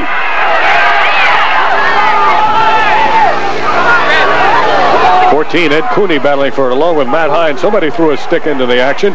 25 is Matt Hine. He goes back to his defenseman, John Seifer. And now Hobart slows it down a little as they make changes on the sideline. Both teams deploying the men with the long sticks on the midfield when they're on the defense, and those are the changes that we're seeing made right now. A very well-coached ball game on both sides. The goalie coming way out and dumping it off to Mosier. Mosier to Feinstein, who slipped and could not control, and now here comes Cortland State. John Fitzgerald. He gets it across. Cortland State down by two. The Red Dragons who beat Hobart 12-11 in the 1975 Division II-3 championship game. This is the first ever Division III game, exclusively Division III. And you're seeing it exclusively on ESPN. Mark Ketzner behind the net to Davis. Outside it goes. Stokes is number 20. Now Ketzner. And we're seeing the deliberate Cortland State offense. Cortland would like to get another goal here so that they could end the third quarter within one point of their arch rival Hobart, and that's what they're looking to do right now. Ketzner loses the stick and the ball. Fred Mosier with a nice defensive play, and he gets it upfield quickly. Look how Hobart moves that ball around. That time a little bit too quickly, as Petosa could not control the ball on the sideline. David, it looks that even though Cortland's trying to slow the ball down and go one-on-one, -on -one, it looks to me that they really are much better off when they run and gun a little bit and move that ball a lot more. You know, Ketzner came in here with 29 goals and 28 assists, and he has not scored this afternoon. You see the scoreboard showing just over a minute to play, third quarter, and Cortland State once more. Comes upfield. The goalie Braun uh, almost underthrew his man Fitzgerald, and the big guy maneuvers, loses the ball, comes across, and has to jump back into his defensive position right in front of the net. Here's Roy McAdam, the most valuable player this year for Hobart. He flips it out to uh, Darcangelo, number 21. He's already had three goals in this game. He heads into the box, changes hands. His feed is uh, knocked away nicely on a good defensive play down there by Brad Gerla. Regain and missed on the shot is now, and the ball still belongs to Hobart. Seven seconds to play. Let's see if they set up a quick play now, Joe Harlan, in the final seven seconds of the third quarter. David, I would look for them to flip the ball out front and just try and get a screen, just a shot with a couple men in front. And I think that's exactly what we're going to see. And uh, let's look for number 10 to take the shot. McAdam feeding, and it's stolen away as we get down to the final seconds, and that is it.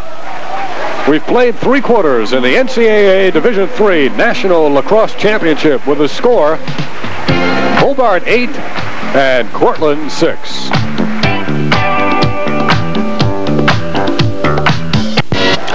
Live professional boxing is back on the weekly network television scene, and ESPN has it. Your total sports network brings you top-ranked boxing, featuring many of the top young fighters in the pro ranks, each and every Thursday evening at 9 p.m. Eastern Time.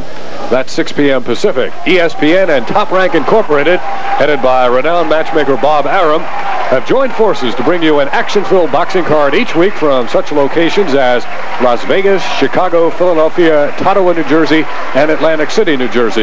Seven weight classifications are included from featherweight all the way up to heavyweight. That's live top-ranked boxing every Thursday at 9 exclusively on ESPN.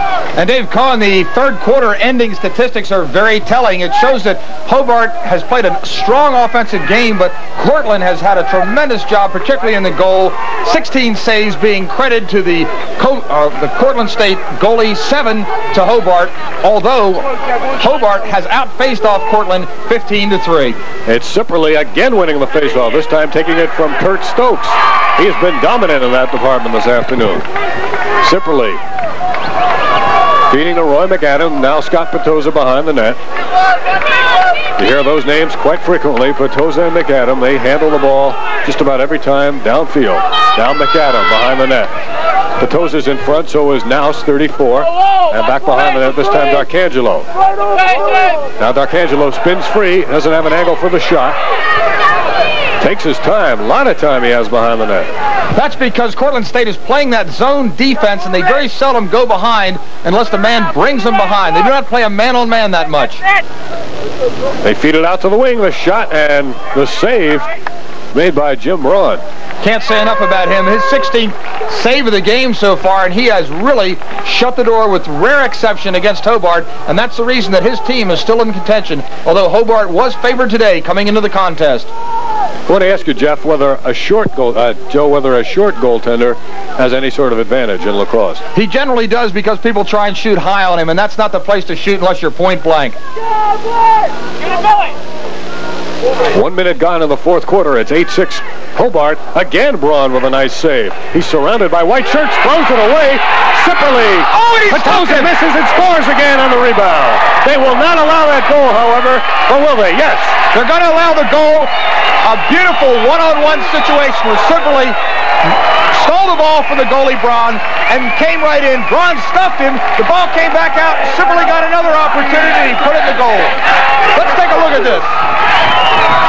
I said he was surrounded by white shirts on the clear, threw it into the stick of Scott Petosa. He dribbled it once, came in, Braun made the save. Petosa leaned in and got the shot away before he fell on the crease. A very good call, David. He managed to tightrope that crease and not fall in. We thought for a second the goal was not going to be allowed, but it is, and Hobart goes on top 9 to 6. A very big goal for Hobart. Time starting to run down a little bit on Cortland State. Once again, Cortland State facing a three-goal deficit. That's the biggest margin either team has enjoyed in the game. Cortland State back quickly. They have a man open. They couldn't spot him coming down the right wing.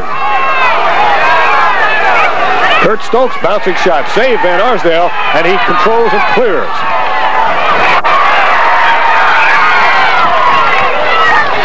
Now McAdam. Starts it up the left sideline. He accelerates on Distler. Gets by Bill Dunn. Outside to the point. Jeff Nouse takes a body check. Back to McAdam. He comes in, all the way in, and he stepped into the crease, and that'll be a call against Hobart. Not right now, but very soon, Cortland State is going to have to come out of that slow-down offense that they've been employing and start taking the ball to the cooker and see if they get back a couple of these goals. Three goals is a lot in this game. It's been a hard-fought defensive contest, and they're going to have to start getting offensive-minded right away. Teams playing at even strength and almost losing the ball behind the net was Distler. He's an All-American defenseman. Pressure being put on by Hobart. It worked last time, and Braun uh, has to bring it out.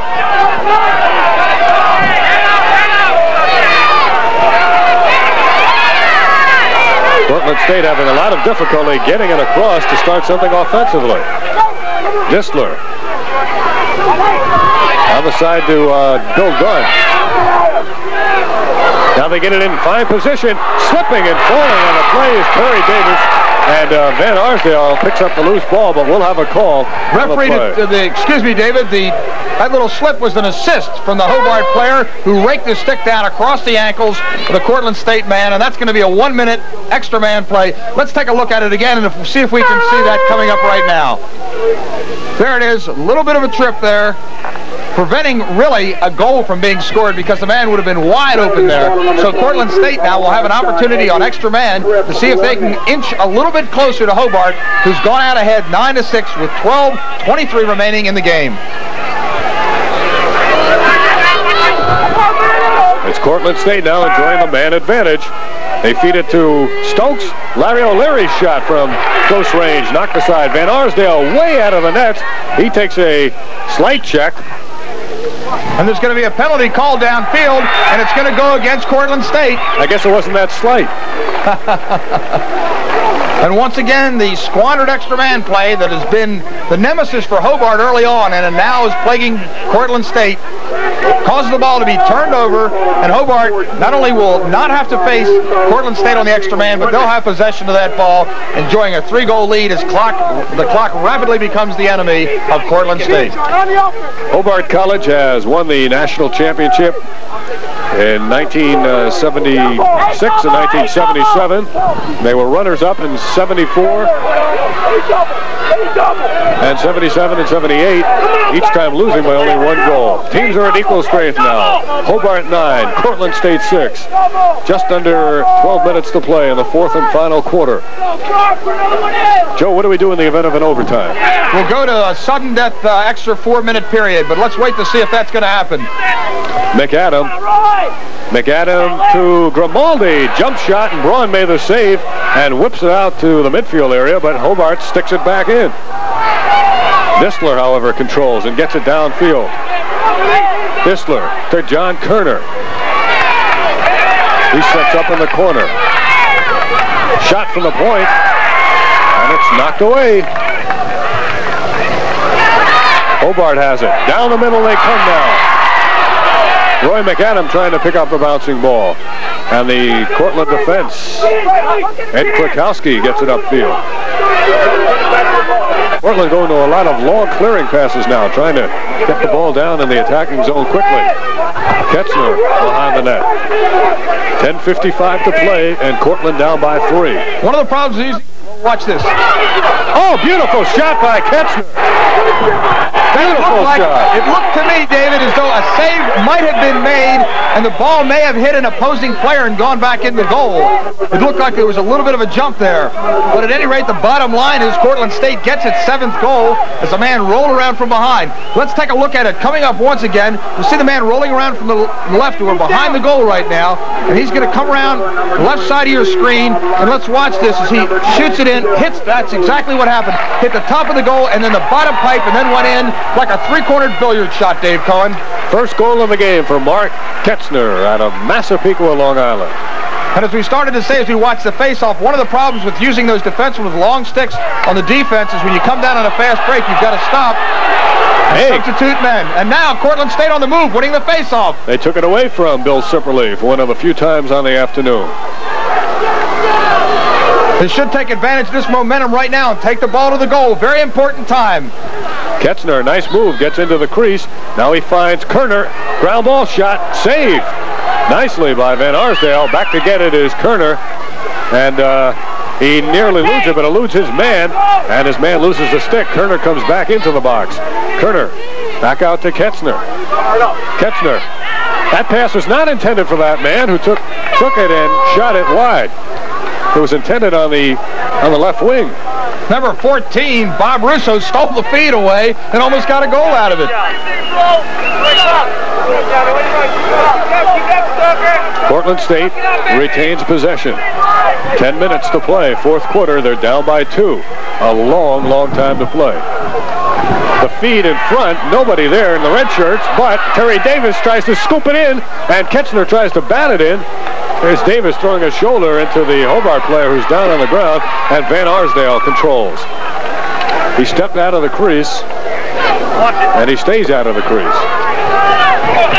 And once again, the slowdown is the defensive midfielders come off the field and the gentlemen with the short sticks go on for Hobart and the reverse situation taking place with respect to Cortland State. Now let's see if we had that little cat and mouse game. Nope. Hurry up, Betty. They get it up to Ed Cooney. Cooney being played by uh, 13, Terry Davis, and he flips it crossfield to his fellow defenseman over there. Now he shovels it for Darcangelo. He seems to be taking his time as he comes to the side of the box. Now to Grimaldi. Grimaldi to Nouse. Nouse winds, fires. It's wide. And uh, they tried to bat it back in the crease for Braun to clear it. Instead, Petosa comes away with it. That was almost very, very costly. Flipping that ball in there is a dangerous move. Scott Petosa accelerating and going to the left side. Once again, Cortland State in kind of that sliding zone out there. Petosa gets a return feed. Johnny, go to crease! Crease your turn! That's McAdam behind the net. Number 12 cutting to the creases Grimaldi. Petosa's right in front. McAdam reverses his field. Darcangelo. He's got good moves. He flips it out onto the wing. And a stick check from behind breaks up the play momentarily. But Darcangelo has it again. Jump feed in front. Here's the shot by now. Score!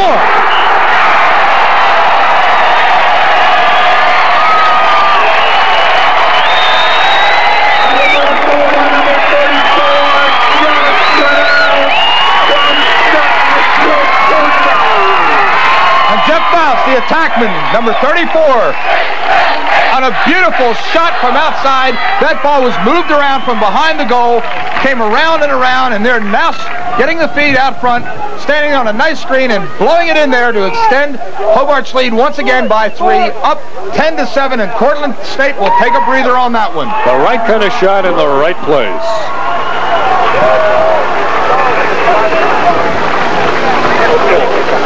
Eight twenty-three to play, fourth and final quarter, and Hobart leading Cortland State by a score of 10 to 7.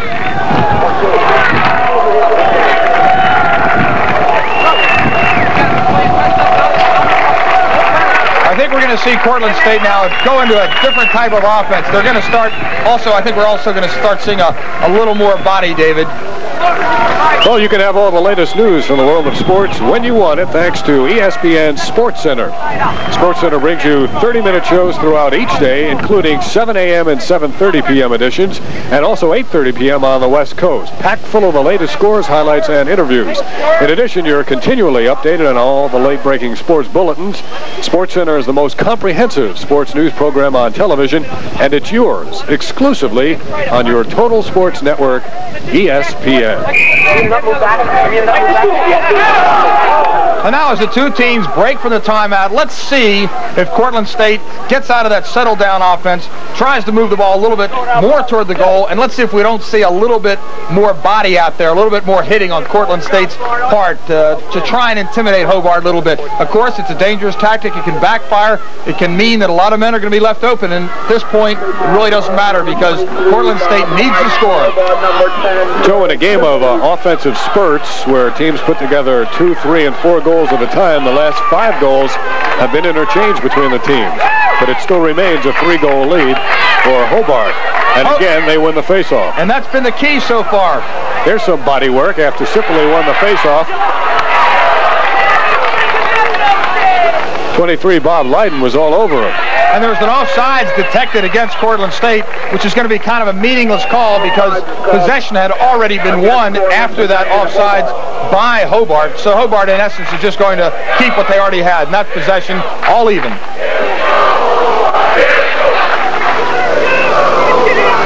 Here come the statement. Statesmen once more. 49 is Bob Sipperley in the game.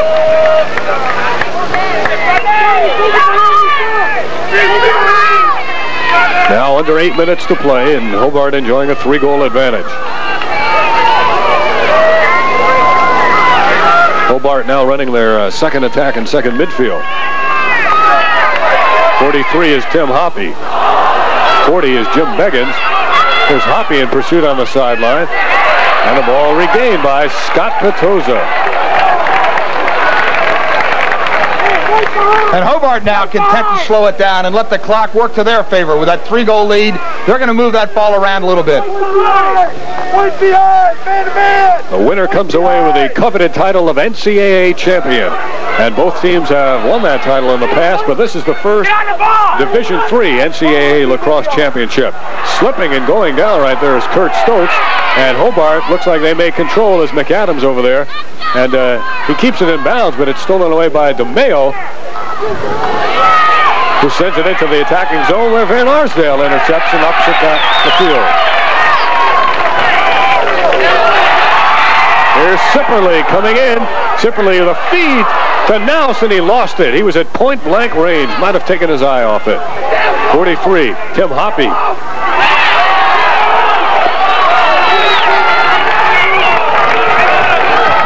It has been all Hobart the last couple of minutes. Cortland State getting a lot of defense from those guys with the long sticks, but they've had a lot of problem clearing. Petosa. Being guarded by DeMeo. Petosa changing direction. DeMeo trying to upset him with a stick check.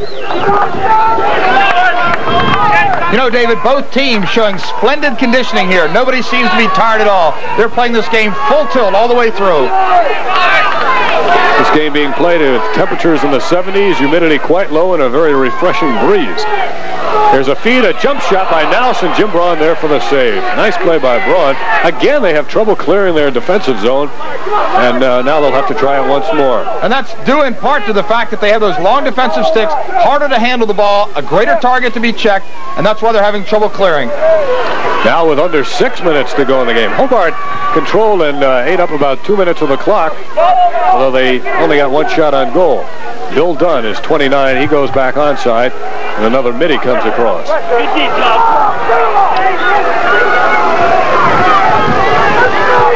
Loose, ragged play as Cortland State tries to set up.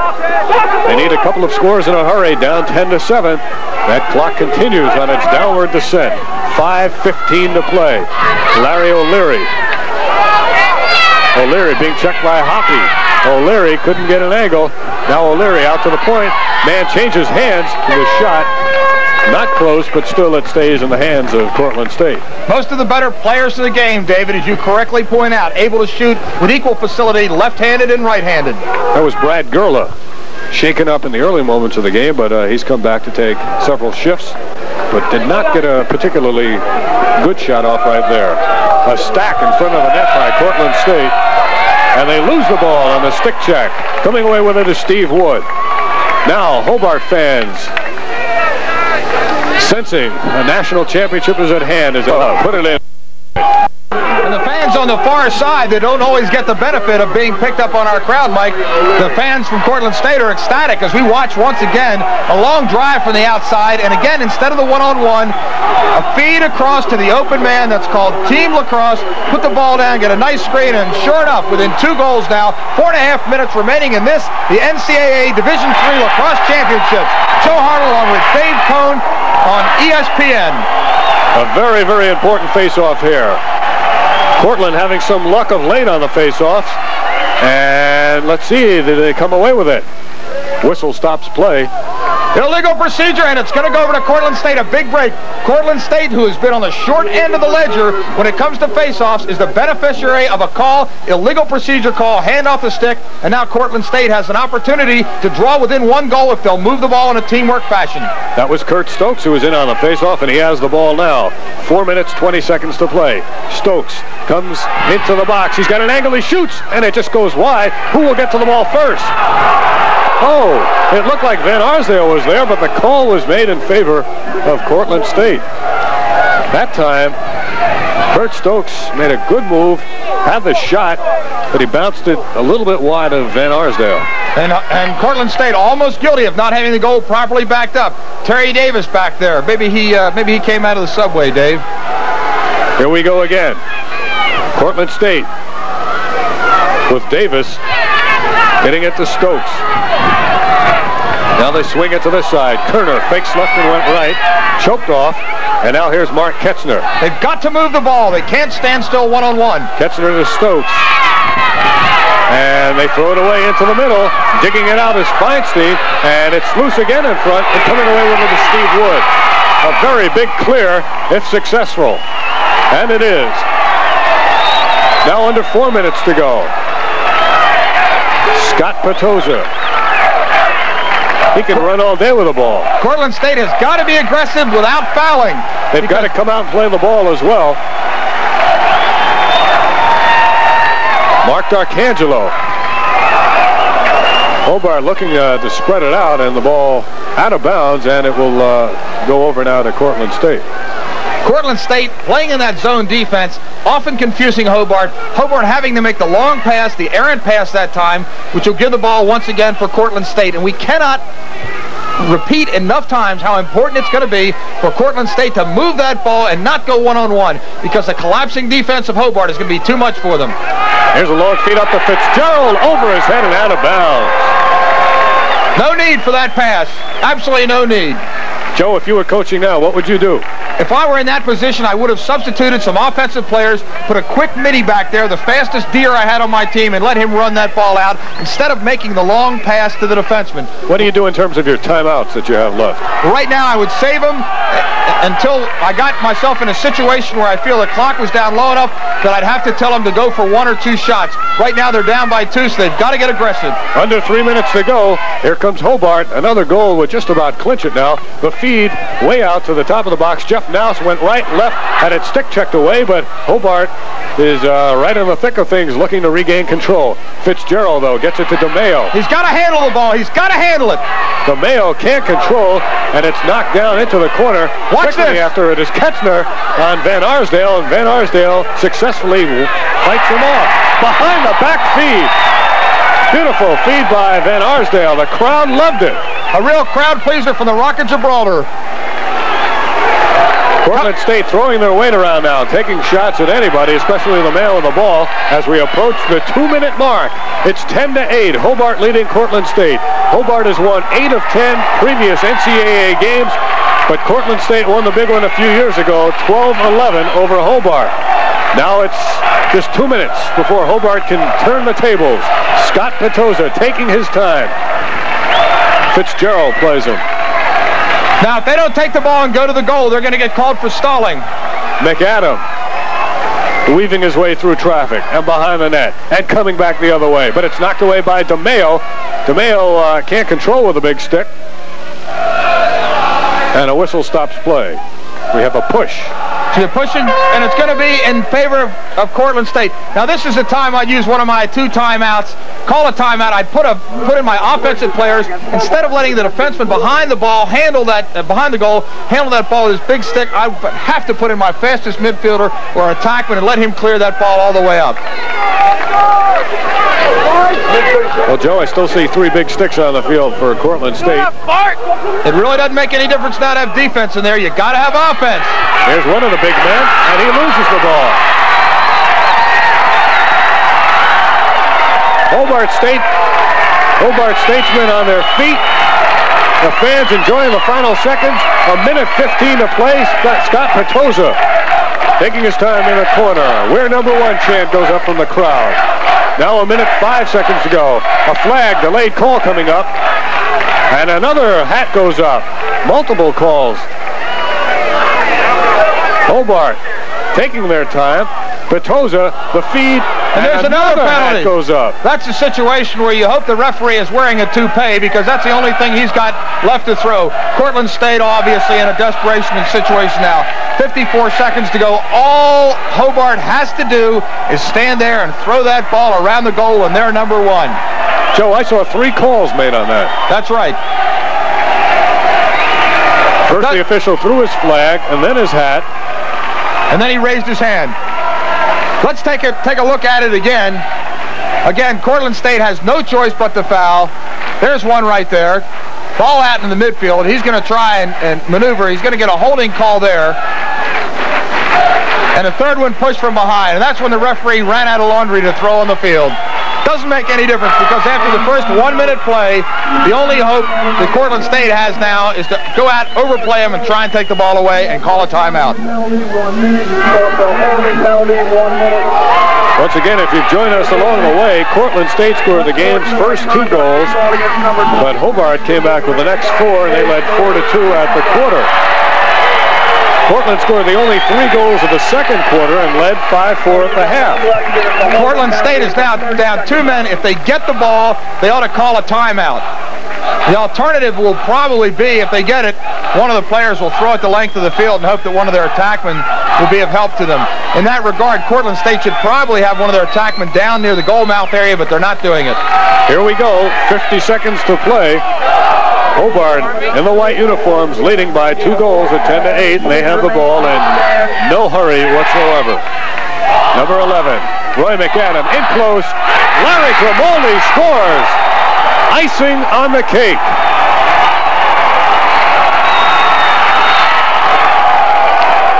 That picture pretty much tells it all. Cortland State has nothing to be ashamed of. They have played one heck of a defensive game out here today. They really faced a tough goalie down at the other end of the field who was equal to the task. Let's take a look at it again. The extra man play, almost an inevitable goal, David. Cortland State down two men, ball being whipped around. This man is going to come in here totally unmolested, just in the lower half of your screen, and there's the ball going right into the goal in the upper left-hand corner of the goalie's shoulder. Well, as you might expect, all the celebrating by Hobart has cost them uh, a delay of game penalty, and so no face-off possession awarded to Cortland State. Half a minute to play, coming right in and firing wide and missing is Cortland State, and uh, they didn't even have a man backing up on the play, and so Hobart gets the ball for what could be the final possession by either team. Their only prayer there for Cortland, excuse me, David, was to put everybody on the crease and just try for a screen. That's why nobody was behind.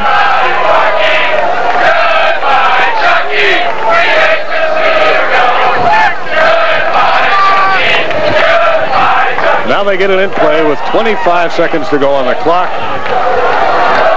Cortland State made a fine run at Hobart, but not enough. Jim Braun making another save, and he wings it upfield now with 10 seconds to go on the clock. Let's pick up the countdown by the Hobart fans.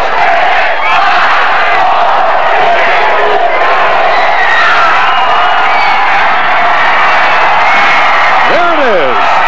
The NCAA Division III National Lacrosse Championship has gone to the Hobart Statesmen before a capacity crowd here at Boswell Field in Geneva, New York.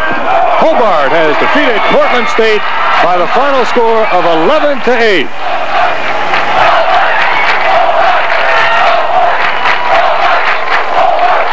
And so the national championship for the third time in the last 10 years has been won by the Statesmen of Hobart. And for the first time, they have won it at the expense of Cortland State.